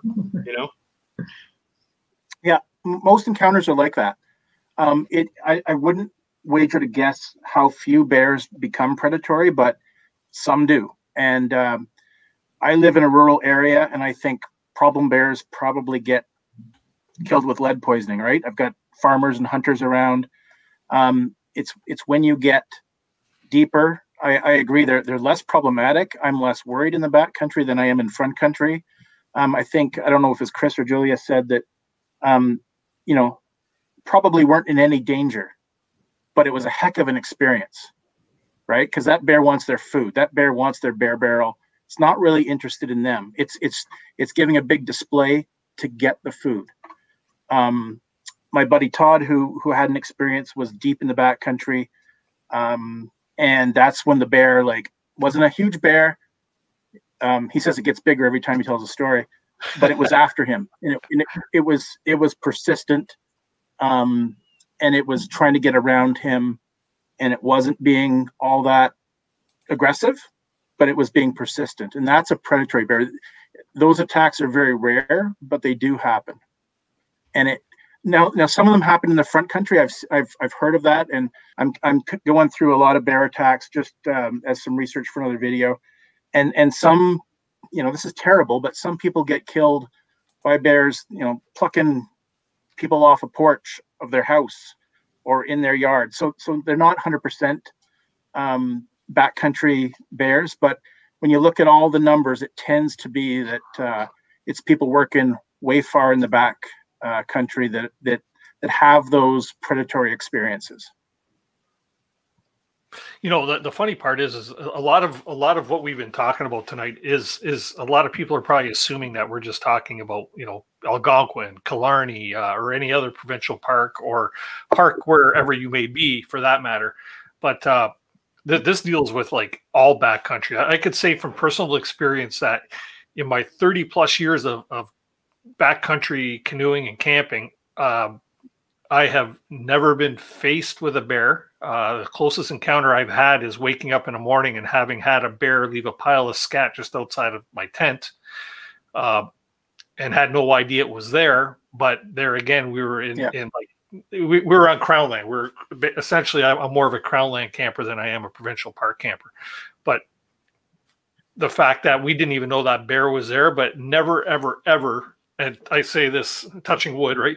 Uh, that uh, we've never we've never had any encounters where our food has been in danger or our pets or ourselves and pets that that brings in a whole a whole new situation you know uh, the old dog bringing the bear back to your camp story right so you know these can happen these, these these encounters can happen everywhere but i find i find they seem to be more prevalent obviously in provincial parks where they have become climatized the people right yeah yeah um, and, and they yeah. can happen anywhere I've, I've, like i said i'm going through a whole list of them um, you can find the the uh, on Wikipedia if you Google bear attacks, you'll find a whole list of black bear and brown bear and, and polar bear attacks in North America.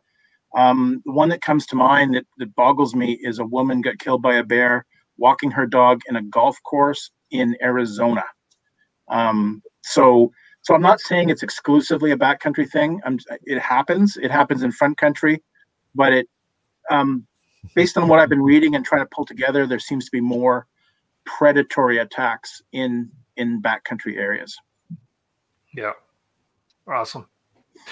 All right, Mark, I'm just going to drop you down into the green room, and we'll let Ben right. have his uh his moment Mark. in the sun here. Thanks, Mark. I appreciate you popping up. Uh, there we go. There's the right button. How you doing tonight, Ben? I'm good. How are you? Good to see good, you again. Hey, good. Long time Chris no Julia, nice to meet you, Kevin. nice to meet you. Um, yeah, I've only had two bear encounters in the backcountry. One was from a canoe, so and we were downwind, so it was just great. We could just watch it walk on the shore. The other was on a portage trail, and it was probably about 20 meters away. Uh, but it, this this encounter actually made me more confident and less worried. Is it did what I guess they're supposed to do. As soon as it heard me, it took off like a cannonball uh, through the forest. So I was kind of heartened by that. um, yeah. Yeah. So I was just wondering also, uh, Chris and Julia, after your encounter, which was pretty amazing to watch, have you been back out? You may have mentioned this earlier because I, I, missed the beginning of the show. And were you more nervous that uh, going out again the second after after that happened? Uh, so that, that's a really interesting question, Ben, because um, right after the experience, we were a little shaken by it. Uh, and we were feeling a little more anxious than we thought we would.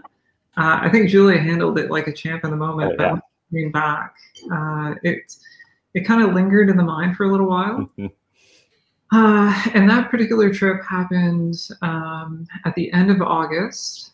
Um, and about a week later, we started to think about uh, going back actually uh, and the weather got really nice uh, that mid September, and we decided to go back. Uh, we we it'll be part two of the video series uh, with Cedar, uh, but we we went back.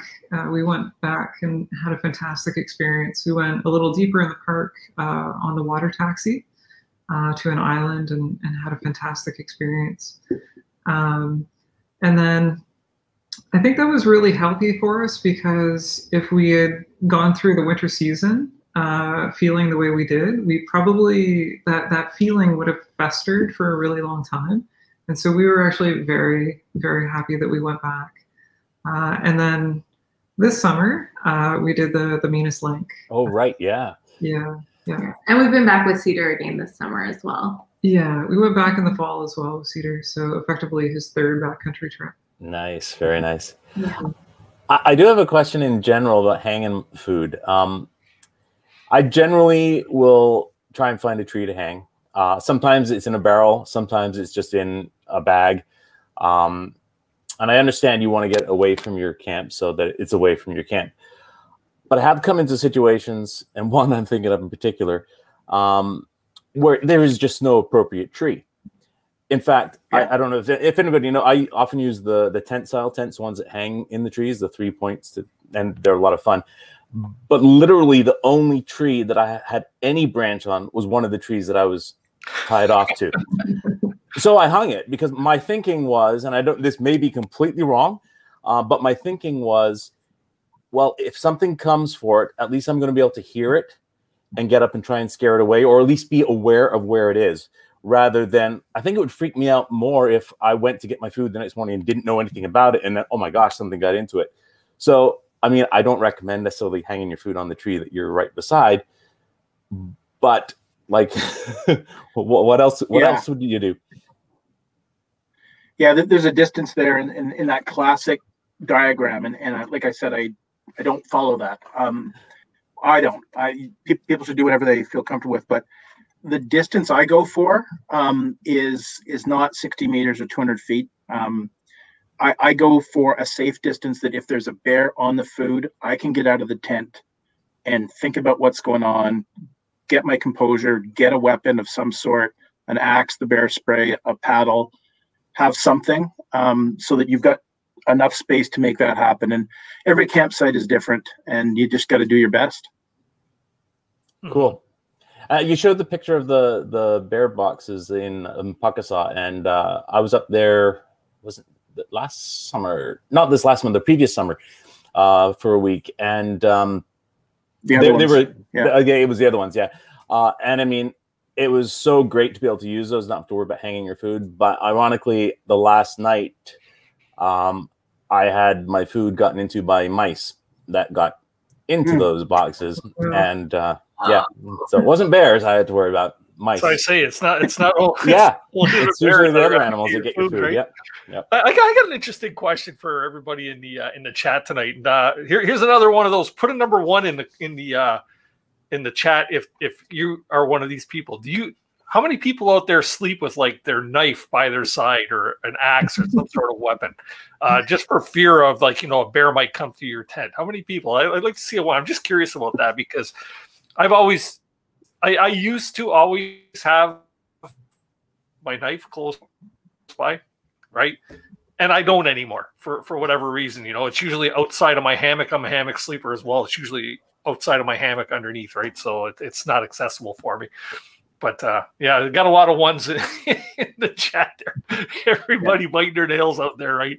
Don't want that bear coming through. So the, the one the one thing now that always always thinks uh, that I think is one of the biggest bear attractants is when you're cooking. Okay, you, you had a great catch. You've gone out there and you've caught a whole stringer full of walleye or pike or bass or trout, and all of a sudden you're back in the camp and you're starting to fry, and you have you know you have your your your grease that you fried your fish in, uh, your batter, and that that smell is like still on your hands because you've cleaned your fish. Uh, it- it's on your it's on your knife. The, to me, that that's I think one of the biggest attractants is all of a sudden, hmm, bears like fish. you know, what I, they like grease. Right? So, like, what, what do you do in this case? How, how do you, how do you try to safeguard yourself against the odors given off through cooking in camp?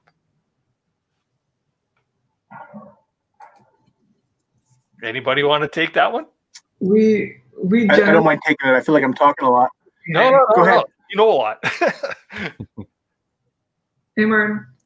Go ahead, Julia. Yeah, go ahead. Or Chris.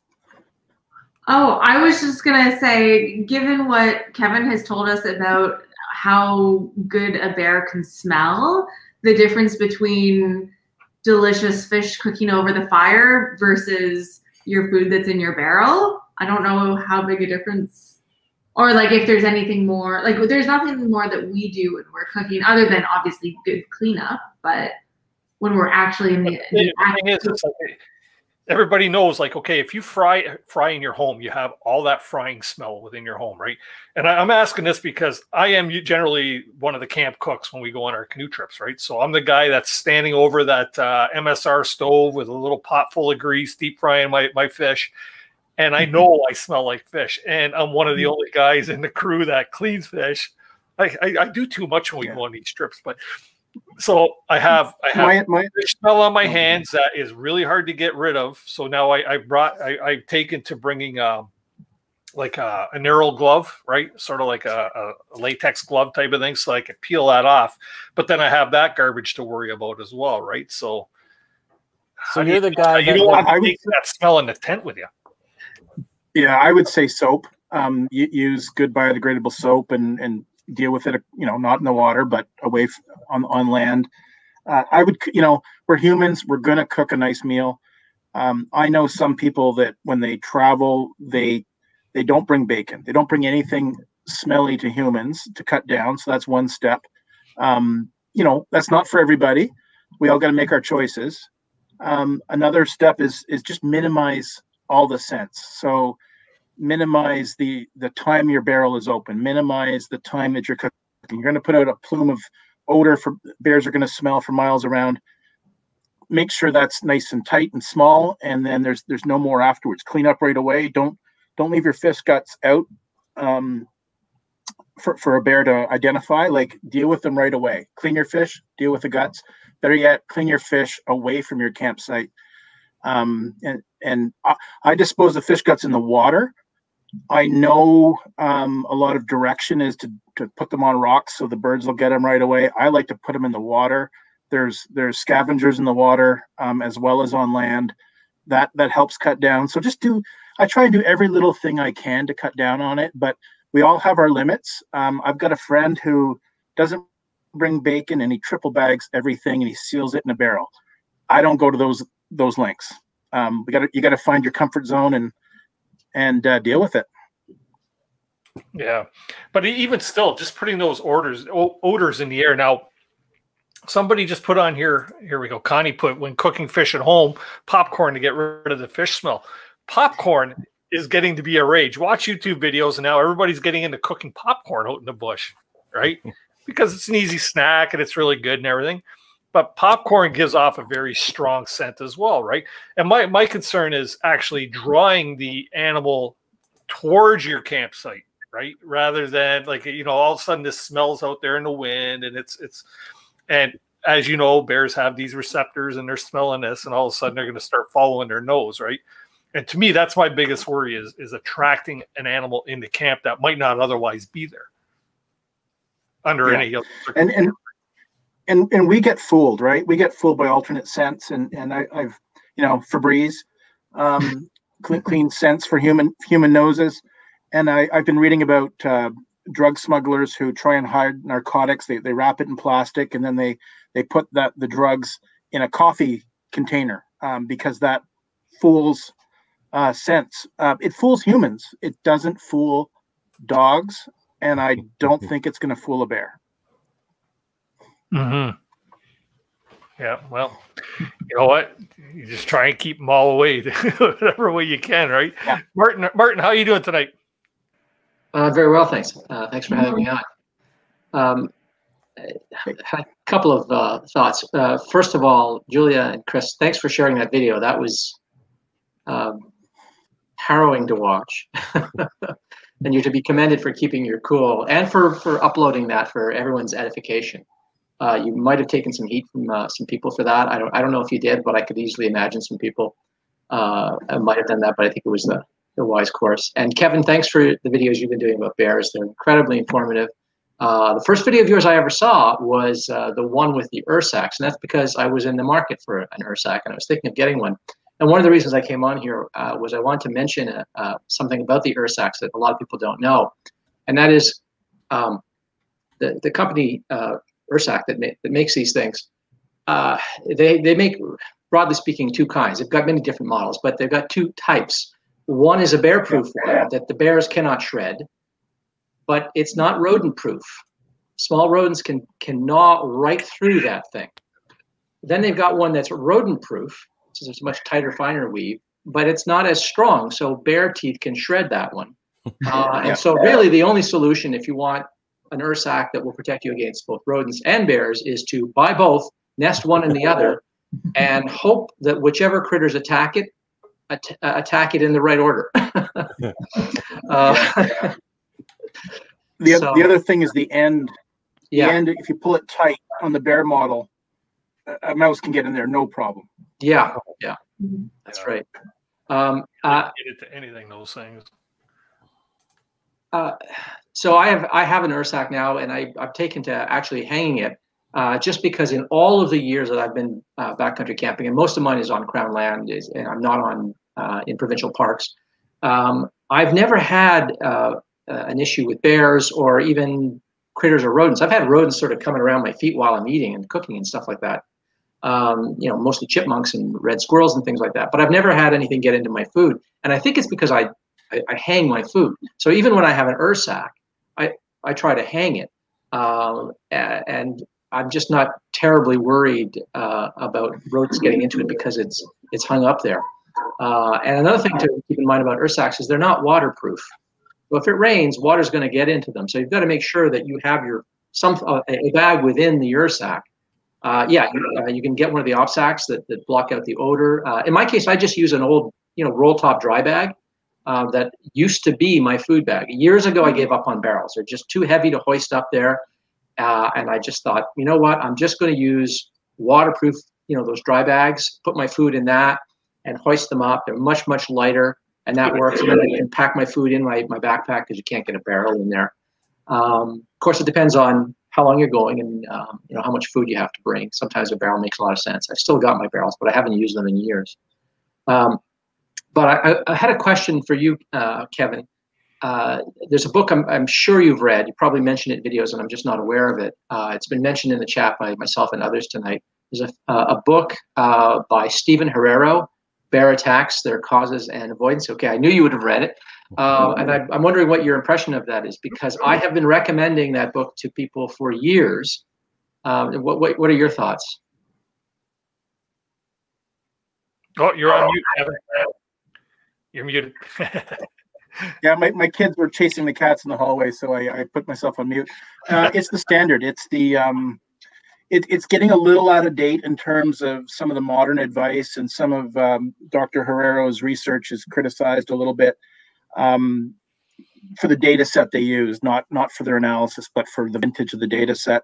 But the book talks about a lot of the behavior stuff. It talks about bear sense. It's a really good primer. Um, you know, the, the photos are are black and white. It, it it's not a modern book. I don't have to look at what year it was published, but um, it is it is sound um, information and and a good foundation for anybody.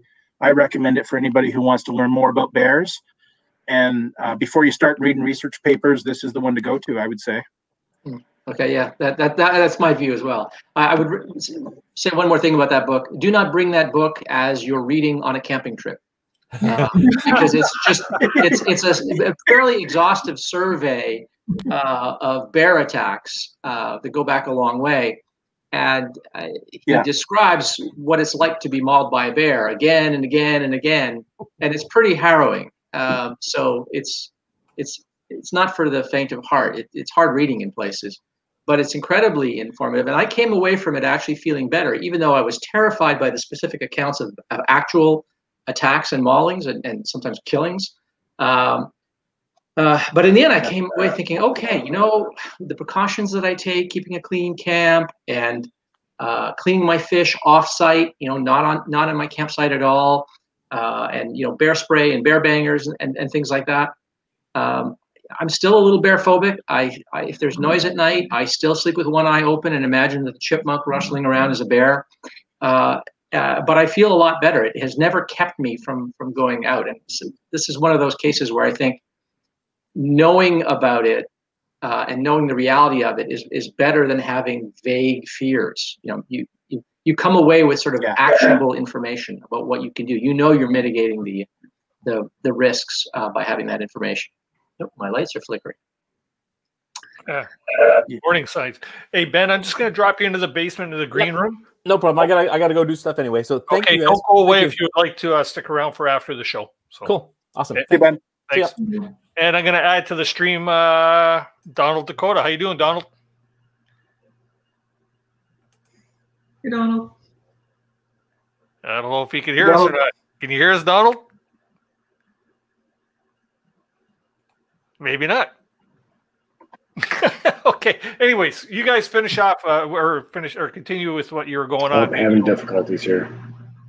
We can oh. hear you now. Oh, there we go. No sound. There you go. Can you hear us? Yeah, I don't know if y'all can hear me here. I'm having we some real, now, real issues going on, so uh, I'm gonna pop out of this here. So uh, I'll try again later. Yep, feel free to jump. Thank back. you bunch, anyways. Okay. Um, okay. I going to say, Martin, I think it's it's funny that you should mention not reading the book while you're in the backcountry. Uh, I happen to read uh, Adam Shoalts's Alone Against the North. Oh no! I was reading the part about the bear while we were in a tent in the backcountry wow. in a lightning and thunderstorm. I, am I'm, I'm reading this book at nighttime, uh, and it was the most terrifying time to read it. I can imagine. Yeah. Yeah. I'm actually careful about what I choose to read in the backcountry. I don't. I'm not one. Like I like scary movies, but when I'm in the backcountry, the last thing I want to be reading about is, you know, someone who's been mauled by a bear or some some horrific uh, misadventure while on a camping trip and stuff. I don't read any of those. You know, I tried to read read Hap Wilson's um, uh, what was it called? It's not called Ring of Fire, uh, River of Fire. I tried reading that on a camping trip, and I found that unsettling. so I had to put that aside. So my, my wife and I watched a uh, I think it was a either Prime Video or Netflix uh, original movie there a couple weeks ago, and it was a based on a true story on this couple who were out uh, hiking on a hiking trip, um, and it was in a park somewhere in Ontario, I believe, and uh, he ended up getting mauled and ki- killed or like shredded by this bear, right? And I'm, I'm wondering if that might be related to the story that you had mentioned earlier, uh, Kevin, where you you thought it was a woman that was was killed, but it might have been the guy. I wonder if that's the same, based on the same principle or same story. That's uh, I wish I could remember the name of the movie. Yeah, I don't have my other computer up. Yeah. Yeah, yeah, they they really are horrific. Uh, Martin was mentioning, you know, reading the book in the backcountry, and um, I, have been reading some of the newer uh, things uh, since the 90s when when bear spray was more prevalent because there's a lot of debate is, is bear spray better than guns? A lot of my viewers are americans and i get a i get a tremendous amount of comments about guns. And um, for the most part bear spray is proven to be more effective than guns. Some of herrero's research uh, used data from the late 1800s which you know people say well those those guns weren't any good so his paper's flawed. But um, I'm still compiling the information, but an awful lot of hunters uh, get killed. They have guns in their hands. Um, often they just made a kill and they're they're cleaning it, and the bears alerted to it. Um, just horrific stories, and it wasn't until last year that someone who discharged bear spray was killed by a bear. So nothing nothing is perfect. Um, they found his dead body I believe he was in Alaska. I can't remember all these stories. I've, I've got them all in a spreadsheet with um, data associated with them. But th- this guy was um, alone at his cabin in the backcountry. Um, and when they found his body, they found an empty can of bear spray. Um, so he only had one. So bring two. Um, but uh, they are horrific, and, and nothing nothing is is 100% going to save your life. Um, and we don't know the details. Did the bear come up behind him? Did he get a chance to dis- discharge it properly? You know, you can just imagine the mess that that ensues. Um, but but by and large, bear spray has been very effective with that one uh, incident of, of, of a fatality, and there's been a few other injuries, very severe injuries, um, but uh, no one's been killed except for that that one instance. Mm-hmm. Uh, question that I've seen a couple people wondering here in the chat, Kevin. You might be able to shed some light. You may know, you may not. Um, can bears sense or are bears attracted to insulin? I don't know. Um, I would say that bears are very curious creatures. They're they're intelligent mammals, and so interesting scents could get an individual's attention.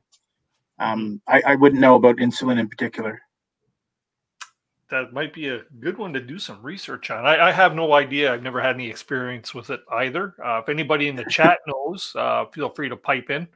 Uh, that'd be great. We do have room for a couple people if you want to pop up on uh, on panel here to ask a quick question before the end of the show. I will post the link one last time here, um, and I'll take up to two more people, and I will let you know if you made it or not. So if anybody is interested, there is the link. Uh, Martin, have you ever had any experiences? Have you ever been confronted or had an encounter with a bear in the backcountry?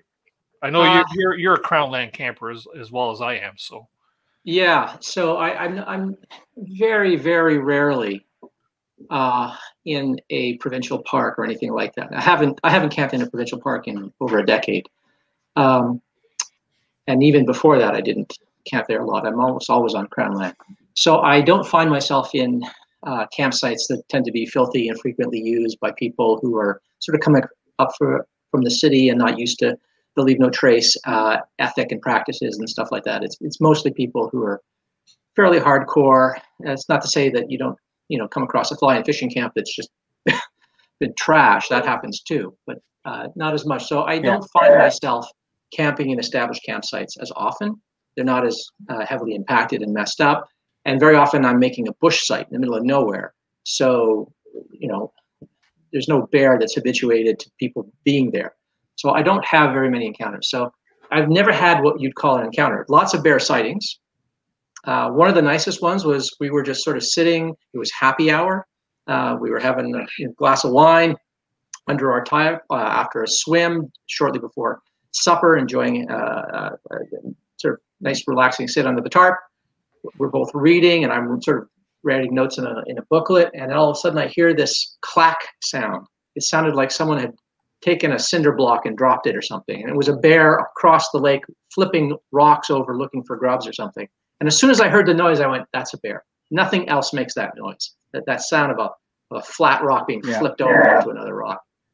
I got up, got the binoculars, looked, and there was a bear, and and it was the most beautiful thing. You know, it was I don't know if it was a subadult male or a, or a female, but you know, this bear was on the, uh, the, the on the other side of this narrow lake that we were on, and clear as day, she was um, foraging for blueberries, and she was crawling on her belly. It, she looked like an otter. She was kind of crawling around and nibbling, and it just looked so beautiful and delicate and she was sort of working her way along the shore. And I knew sooner or later she was going to come around to our side. So we got in our canoe and we paddled to get closer to, you know, get some pictures and stuff like that. And as soon as she saw us, boom, she was gone.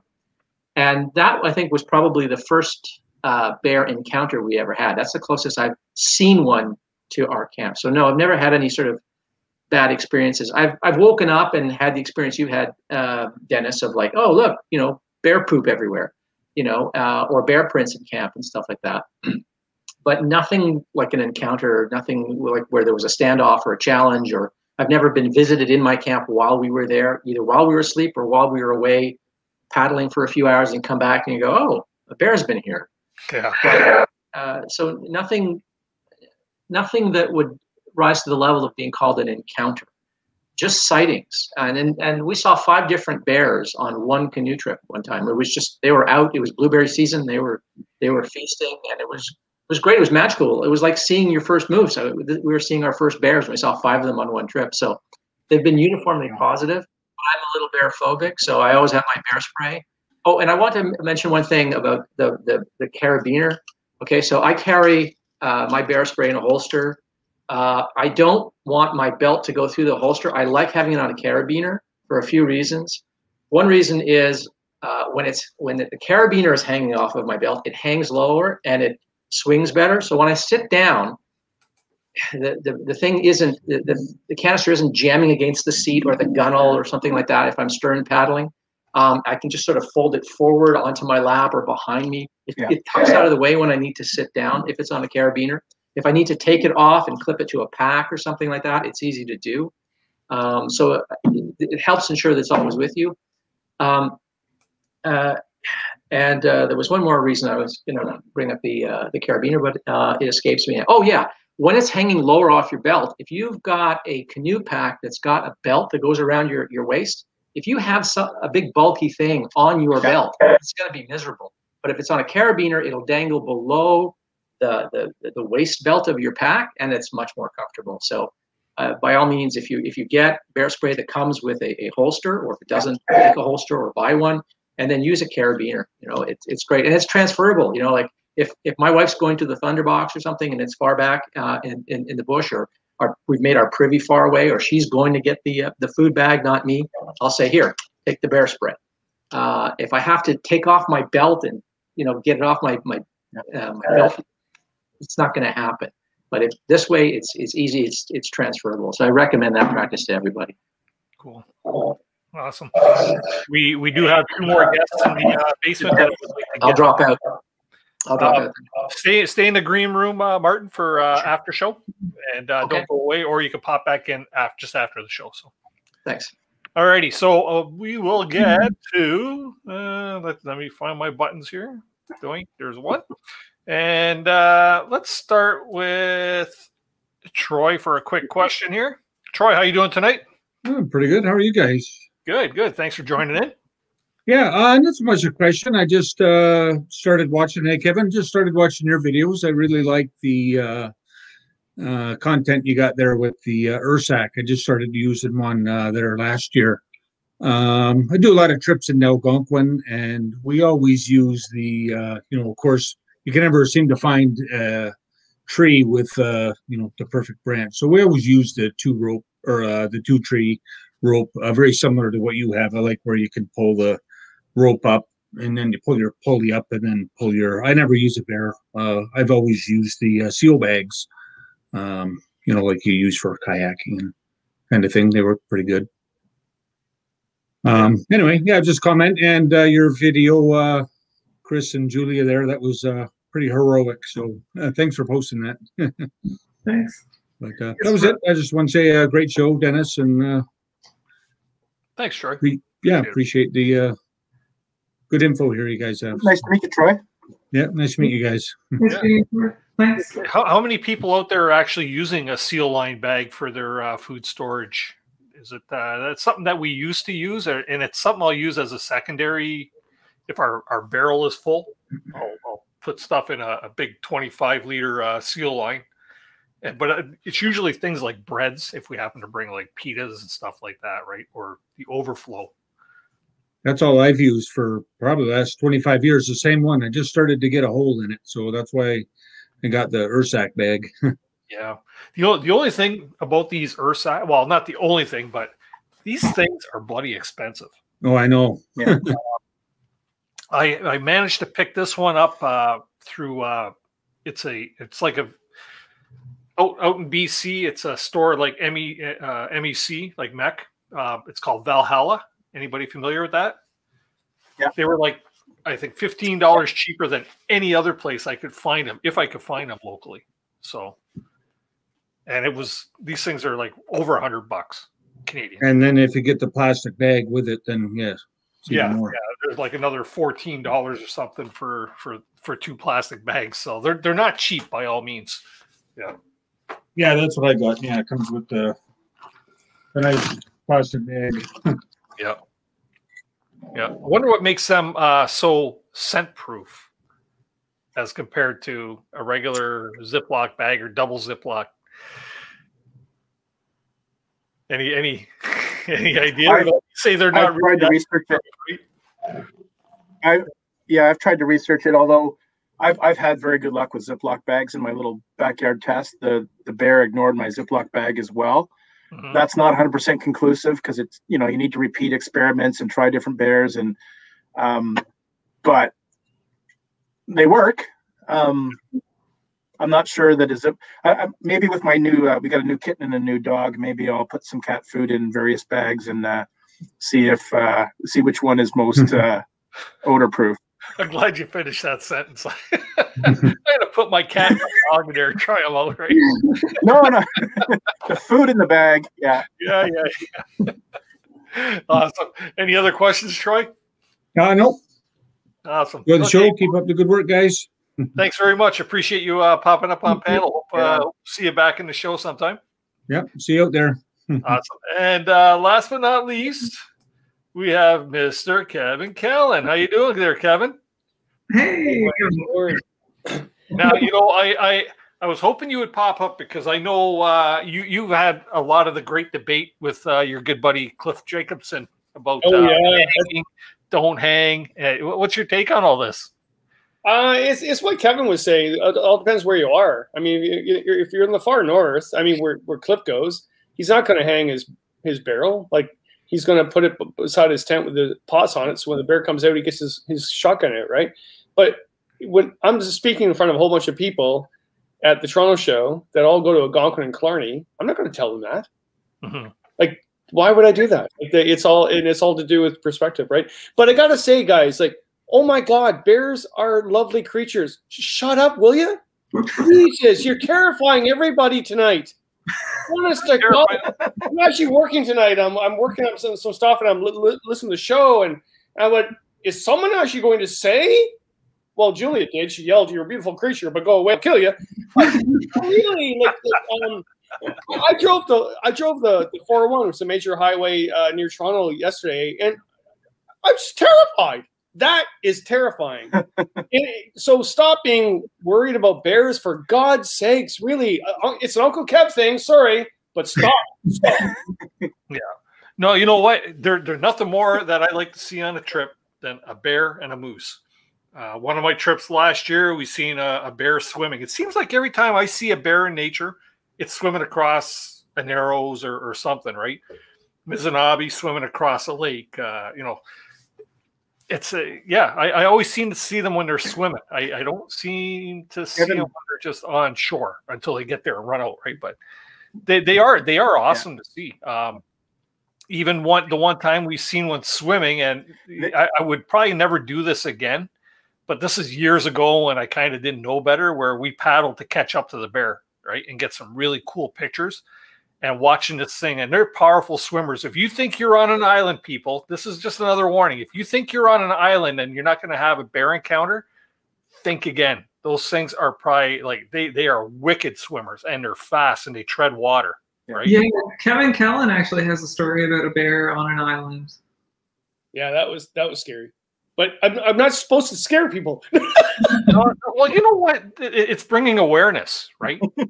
Well, that, that was a good one though. Actually, it, it's all to do with um, uh, habituated bears, like Kevin was talking about, right? And also, what you, what Julia and Chris, what you dealt with was a habituated bear for sure. When I saw it chop its lips too, um, I, I'm glad you didn't know what that meant. That's very aggressive. Uh, that's a very large boar uh, bear that actually is like, hey, I know what I'm doing. I've got food here before. You're not in control of me. And yeah, that that that that when I saw that, I was like, oh crap, that's not a good sign. But at the same time, it wasn't going towards you; it was going towards your food. So that's a really positive thing. It's not going towards you. Predaceous bears, what Kevin was going on, I've dealt with three of them in my lifetime, and it's terrifying. Predaceous bears are very quiet. They're very secretive. You won't hear them coming into camp, and and basically they they deal with you like a um, a moose calf. They'll knock your head off. That's how they kill you. They they take your head off and of, of all the the stories of, of people that have been killed. uh, One of my students actually was killed by um, a, a male bear uh, on the Mississippi River, and he was doing a soil sample for geology. And basically, yeah, the bear came up, knocked his head off, and his buddy hit the bear with a with an axe. Uh, the bear took off, and yeah, they shot the bear later on, whatever. But but so rare. Like again, I'm telling everybody to calm down, but I'm here. I go off and tell stories like, like that. But the one bear that I dealt with, um, we're uh, in, in Temagami, and we're on uh, I forget the lake. It was in it was a, a, an island in the middle of nowhere. So the bear had to swim a long way to get to our island. But I got up uh, to have my morning constitution. Um, and in fact, I remember it was my, my daughter's birthday. Um, and uh, so I was getting uh the cake ready and stuff like that. And then I saw this bear swimming toward the island. I went, oh, crap. So I woke everybody up, and the family that was with us, they go, well, we've never seen a bear before. Can you just not scare it away yet? I was like, really? Um, so it ended up that the, the bear was, uh, see, I terrified Kevin so much he left. See, see, look, that's that's what happens. Kevin's so terrified, and he lives in Thunder Bay. Like he's a man. He's got a beard. So, uh, sorry, sorry. Anyway, sorry. Go, I'm going to change it. So what was happening was that the bear was coming towards us, and I said, "Well, no, we need to scare this bear off really quickly because it, if we don't do it early, then the bear will be coming closer to the island. And the bear will say, "Well, I'm going to swim to the island anyway." Even so, sure enough, that's what happened. And I shot all the bear bangers over its head. Um, I shot flares over its head. Uh, I had the bear spray ready, and I did something that a First Nation person uh, taught me years ago. And I, I, I wouldn't say to, to try this, but it worked. Um, what he would do at his cabin when bears came into his cabin, he would get a rake actually and bang it on the ground like a, like the, the antlers of, of a moose. And that's what, you know, a moose would say, Hey, you're not dealing with, with me. And a bear would say, okay, okay, I'm, I'm good. I'm good. And that worked. So during that time, I did that with the paddle. So I banged the paddle on the ground like a, like an antler of a moose. And yeah, it worked. The bear swam off, and I broke the paddle. I was so aggressive with the paddle, I broke the paddle. The guy I was with, he actually made me that paddle. And he was so pissed that I broke his paddle. I was like, "Body on life, what the hell's wrong with you?" But uh, but it worked. I'm not saying that you should do that, but but don't panic. I mean, think about the log, log the whole logic of why is that bear coming in to that island? It's coming to get the food. It's not a predaceous bear. The predaceous bears I dealt with, terrifying, but um, never think about what did did a book tell me to do? Like you, you would never think that at that moment. Yeah. When the bear, it's it's like being in an alleyway Yeah. uh, on a Saturday night. You either fight, flight, or fright, right? So um, uh, I had a bear up by James Bay that was very uh, predacious. It was stalking, and well, uh, Kevin, you know Bill Ostrom from Ostrom. Yeah. Pass? Yeah, you, you know how big he is. Like that, that man is a giant. Yeah. Yeah, and that bear went for him, and we were scared because something. it, like, and, and basically, we all got together as a group with Bill, and uh, yelled it off, and, and it s- slowly wandered away. And then the next portage, it was waiting for us on the next portage. Yeah. Yeah, at the end How many day- were you in the group? Uh, there was five of us. So, um, and it, it was fine. It, it, it did say, okay, I'm done. Uh, we're, uh, and it didn't bother us at all. But of all the trips I've ever done, if I can only have three of those stories, anybody that's worried about, and I, I think it's a good question about insulin, to be quite honest. I think actually the bear would be interested with insulin, uh, any anything to do with sweet smells whatsoever. But do not stop going in the backcountry because of this. Yeah. Okay? Do not do that. Go to the highway and look at the nightmare on the highway. That uh, I, I wrote a piece today for the Toronto Star, and they they were they they were basically asking me the typical question. Oh, geez, Kevin, you know, isn't it dangerous out there? If I had to list all the things that happened to me out there, ninety nine point nine percent were all human based. A, a, a pilot that didn't come pick us up for a couple of days, and we almost starved because because he was he was arrested for pornography scandal. Um, a local slashing our tires. Um, every like it had nothing to do with the wilderness. Nothing. It was all human based um, tragedy and, and error. So yeah, peace and love to bears. right. Nope, I got no problem with them. And that. I, I have a question. You you made a point about bears. You made a Yeah.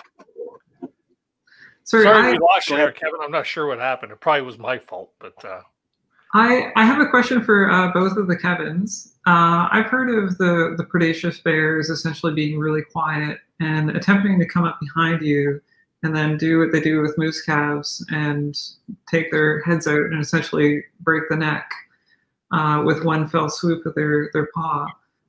Um, I think about that sometimes while sitting around the campfire at night uh, because you're looking inwards towards the campfire and might not be aware of what's coming up behind you. Uh, does fire tend to scare bears away? Like, are bears concerned about the fire? Uh, and if they're not, what would you recommend doing to mitigate that that potential bear coming up behind you? Are you are you cooking s'mores at the time? Probably. but but are bears uh, scared off by fire? Do like do the, the do fires tend to keep bears away? Kevin, that, that's that's traditional wisdom. That's traditional wisdom for sure. I'm not 100. percent They're that afraid of fire. I think they're less brave when there's light. Gotcha. Um, so the, the bear probed you during the day at, at dusk, and it didn't get serious about your food until dark.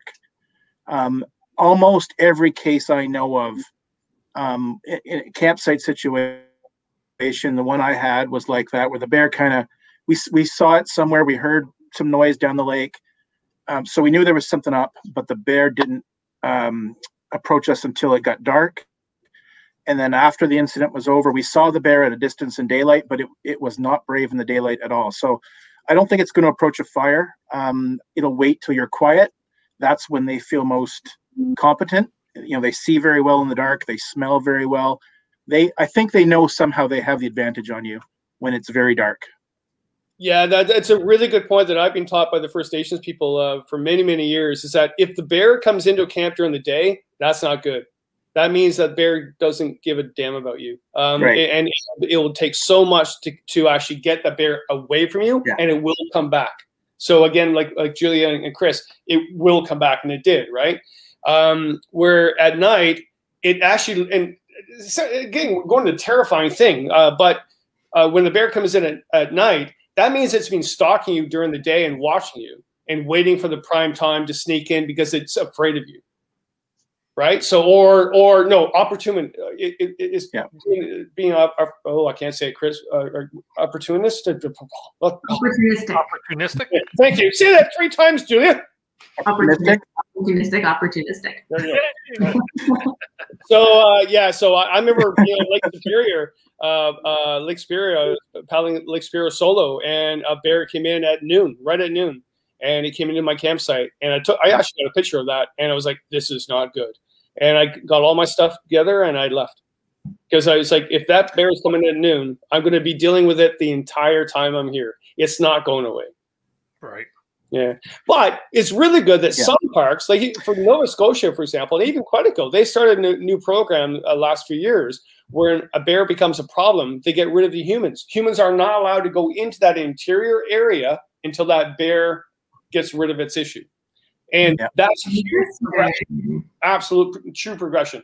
I mean, I, I, remember guiding a trip in Quetico where uh, I had groups say, uh, there was a sign on the portage saying that we couldn't go any further because of a bear issue. They're furious at me. They're like, "How dare you? We we catch fish in this lake. We're going there. I don't care about the bear. The bear should be shot." I went, "Wait a minute. You want to go into the wilderness and and and enjoy wilderness and enjoy wildlife, but you want to shoot the bear so you can catch fish. How anthropocentric is that? Mm-hmm. Right? Yeah. Yeah. They were there first. Yeah. yeah that's first, crazy. Right? Yeah. Uh, Nate, uh, getting Nate, getting back to the daylight thing, all, all all the folks I know who had a sorry, all the folks I know who had a predatory attack, it was daylight. It was working hours. There were people working in the forest. They weren't out recreating. They weren't sleeping in a tent. Now some have been, uh, bears pulling people from tents in the dark. That that does exist, but um, all the ones I'm aware of, where I know people who were in that situation, like Kevin, were during daylight hours. Um, so it's a it's a different bear. Yeah, a, a, predaceous bear really doesn't even know what a human is. It just sort of looks at you like, "Hey, looks like I could eat you." The uh, Bates Island, for example, even though That's it was a, right. Algonquin, um, terrifying thing, but they had a roast uh, sitting there for days. It, the bear didn't touch it. It went there, and they they figured the bear was a male boar, um, uh, and it was not a, a, garbage bear. It was basically wandering. And Bates Island too. That that one island, is, the the lake is shaped like a teardrop. So that island is the shortest way to to cross that lake if you wanted to. And there's a whole bunch of um, uh, oak trees uh, for for feed on. So it was just doing it, sort of walking around and said, "Oh, look, I could eat these people." And I don't know if you know, uh, but the whole yeah. Uh, police um, report. Uh, one of my past students, his uh, dad was one of the OPP officers that went, went to the island, and they they were thinking of maybe darting it and not killing the bear, and then yeah, it was doing the tear the the yeah, it wasn't good. So, thanks for not scaring the shit out of me. Yeah, I know. Actually, I think the worst one in Algonquin is actually the one that was uh, on the east side of, a, of Algonquin, the, the, the, the, boys that went for the day trip for trout fishing. The one guy probably hung over, whatever, but he went to sleep in the car. And then his buddies didn't show up, so he went looked for him. And the bear killed them all, uh, except the one kid. And um, that's a predaceous bear, right? But again, uh, you think about it. What? uh, in Algonquin Park that has like 40 years, two things have happened. Millions of people go to Algonquin Park every year. Two times that happened. Far few between, yeah. Yeah. yeah. That's why I asked earlier. And, and you've had the likelihood of an encounter, right? It's, you've yeah. had you've yeah, and you've had those experiences because you spend so much time in the bush, and that's that's the point I make. The people I know who've had those encounters are people who spend every day of their life, Monday to Friday at least, in the bush, and they recreate in the bush. And so that's, you know, they're, they're the ones who are going to have those experiences. But Kevin started this by, you know, um, talking about the cool things about bears. There's, there's a lot of cool things about bears. We're talking about all the terrible things they do. Um, bears are fascinating. I, I've been learning more about them as I, as I read stuff. And, um, you know, bears put on weight like crazy. Yet they don't get diabetes. A bear can gain hundreds of pounds in a year. So researchers think maybe we can find a cure to diabetes through bears. Um, they have very large home ranges, and at least in the far north, and so males and females don't necessarily bump into each other on a regular basis. So they have something called delayed implantation that they they mate and the egg gets fertilized, but it doesn't implant in the uterus. It, it floats around until the bear is ready uh, to meet the annual cycle. So I, I found a couple bears in my backyard making a lot of noise one night, and I thought that's a really weird time of year for them to be doing that. Um, and it was I, I went to work and talked to some bios the next day, and the biologist said, "Yeah, that's delayed implantation. That that's that's what's happening." So they're they're fascinating. They have so many fascinating features about them. Uh, we do dwell on the attacks, and that's what this is about. But um, they're they're amazing creatures. They they're, they're fast. They climb. They jump. They swim. Um, they see in the dark. They smell. They got the best nose in the animal kingdom. Um, they're amazing. Yeah, that that is so cool about, about them doing that. I, am so glad you, you shared that. I, I, I tell my students that they're like, what? Because they don't hibernate. They're not a true hibernator, right? Because so, someone asked uh, uh, uh, tonight if um, yeah. you've ever seen a bear during the winter. Yeah, um, and in fact, at yeah, minus they, twenty, they, go in. They go into torpor. It's not a hibernation like chipmunks do. Um, it's torpor. It's a different thing. Uh, they kind of sleep and they slow down their metabolism, but they're not an actual hibernator. Yeah, and tell them yeah. about how they hold their poop in, Kevin. Tell them. Hmm. No? Go ahead. I forget a bit about that. They do, though, don't they? They do. They do. People say, "Does the does the people have an expression? Does a pope go in the woods?" And I, you know, the pope does, but the bears don't. They they do it on the road. Oh no, no! But in the wintertime, uh, when they when they go in, into their deep sleep, they actually don't. Yeah, they actually plug that's themselves. right. They, Whereas a ground, yeah, they don't. They, they don't urinate. Yeah, they don't. They make a mess. Yeah, they, yeah. Bears don't urinate and they don't uh, poop during the winter. See, Julia, you didn't know this when you were actually yelling at that bear and spraying with nasty chemicals. no, like I say, and if you ever want, if, if anybody ever wants to see what a bear does when they come out of hibernation or whatever Kevin just called it, watch my second video for um, uh, the Smoke Lake trip, or yeah, Smoke Lake to Bonnechere. The campsite that I camped at, like I say, it looked like the bear had gone there and exploded, and it, it, was amazing. It was everywhere, and it, it, wasn't typical little black pile of bear dung. It, it was, it was like you'd have to see it. You'd have to see it to believe it. In all honesty, and it was everywhere. so took me a while to figure out uh, somebody had told me it's called the bear unplugged and that's what happened so yeah pretty shitty story i know but yeah. If, okay uh, we are 40 pounds of berries uh, in a day I'd, I'd like mark, and i wanted to get this one question out of the way because it does pertain to a, a, question that i've been having all night and that is about bringing your dogs with you on a canoe trip. Uh, Kate Muskoka was asking uh, dog okay no is that the one? Oh, the do dogs scents keep bear away or does it attract them or do you have any take on that okay this is really important but kevin you answer it. This is really important question to answer. It is and, and there's there's no there's no perfect answer. Um, i've camped with dogs and was better off for it. I had a big big husky one uh, big husky dog uh, a few years ago. Um, he was very aggressive and very helpful with with bears. But the problem is with with most dogs is they'll chase a bear away and then the bear will stop running and turn around and fight the dog and then the dog will run back to you and so the bear will come back to you. So um, dogs can be really good. If you have lots of dogs it's better. Um, i chased a bear in a campsite once in Neys provincial park at five o'clock in the morning because we got up and I had the two huskies and I thought, okay, I'm going to give this this bears some negative reinforcement. So I chased it through some campsites, but uh, on leash. Um, but yeah, it, it's a mixed. It's a real mixed thing. You don't want your little dog. Uh, barking is good. Barking keeps bear, bears away. We um, we live in a rural area. We've had a dog out in our yard, a husky again. Um, so it doesn't come in in the winter. They're they're they're an outdoor dog. Minus 30, they'll be laying out in the sun. Um, and, and that just keeps bears away. Um, that, that barking is really, really good. Um, but you don't want your dog chasing a bear because it'll it'll U-turn on you and come right back to you. Yeah, that's Was happened. that, was that what you're looking for, Kev? Yeah, no, that's happened so much in the north. Uh, there's so many stories of that happening. I, it happened to me with my dog Bailey. I was guiding a, a trip in Quebec, and uh, a bear kept coming into camp because it was cooking this chocolate cake, and my dog went at it, and um, and that bear wanted to eat the dog. That's why it was coming into camp. It wasn't the chocolate cake, and because it was a small dog, right? It wasn't like a husky or a wolfhound, whatever. And um, yeah, I, I, I just, everybody thinks, well, I'm going to bring my dog and I'll be safe. No, that you'll that little yappy little dog is actually luring the dog in or luring the bear in. So, well, w- once again, wasn't I supposed to Yeah, just it can. Yeah, yeah. make them not terrified of going to the woods? You know, I'm, for, I'm fortunate uh, when we go on our canoe trips. I, there, I spent the night on a small island in Quetico. You go ahead, Kevin.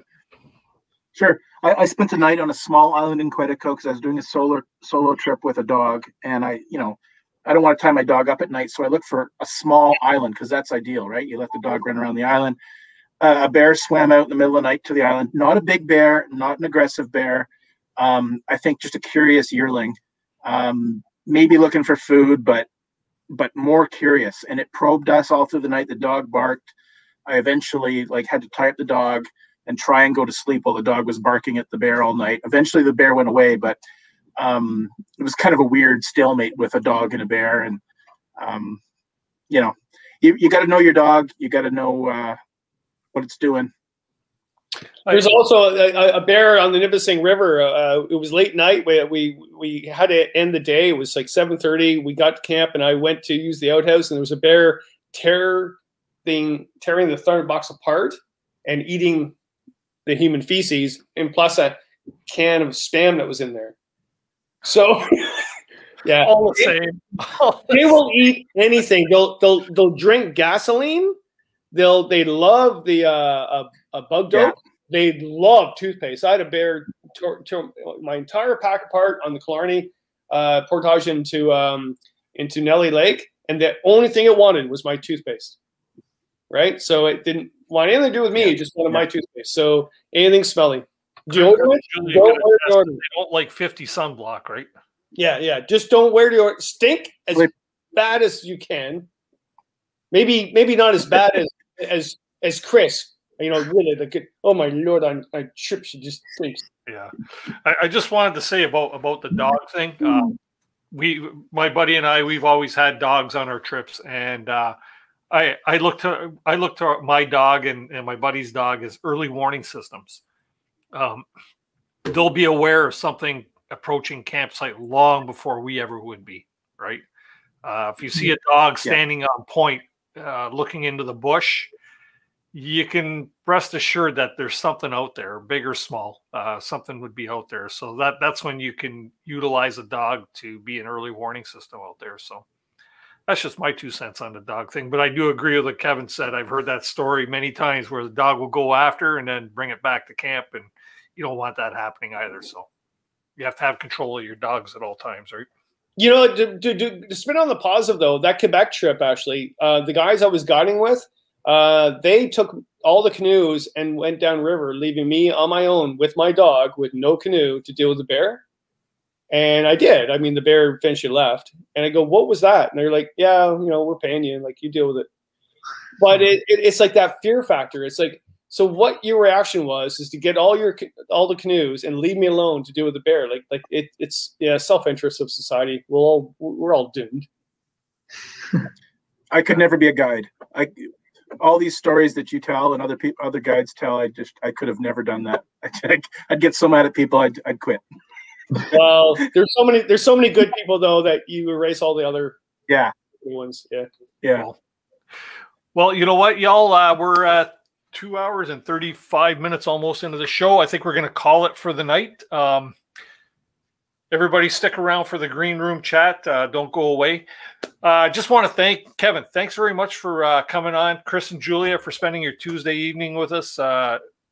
Always great having you all on uh, on panel here for sure. Yeah. Yeah.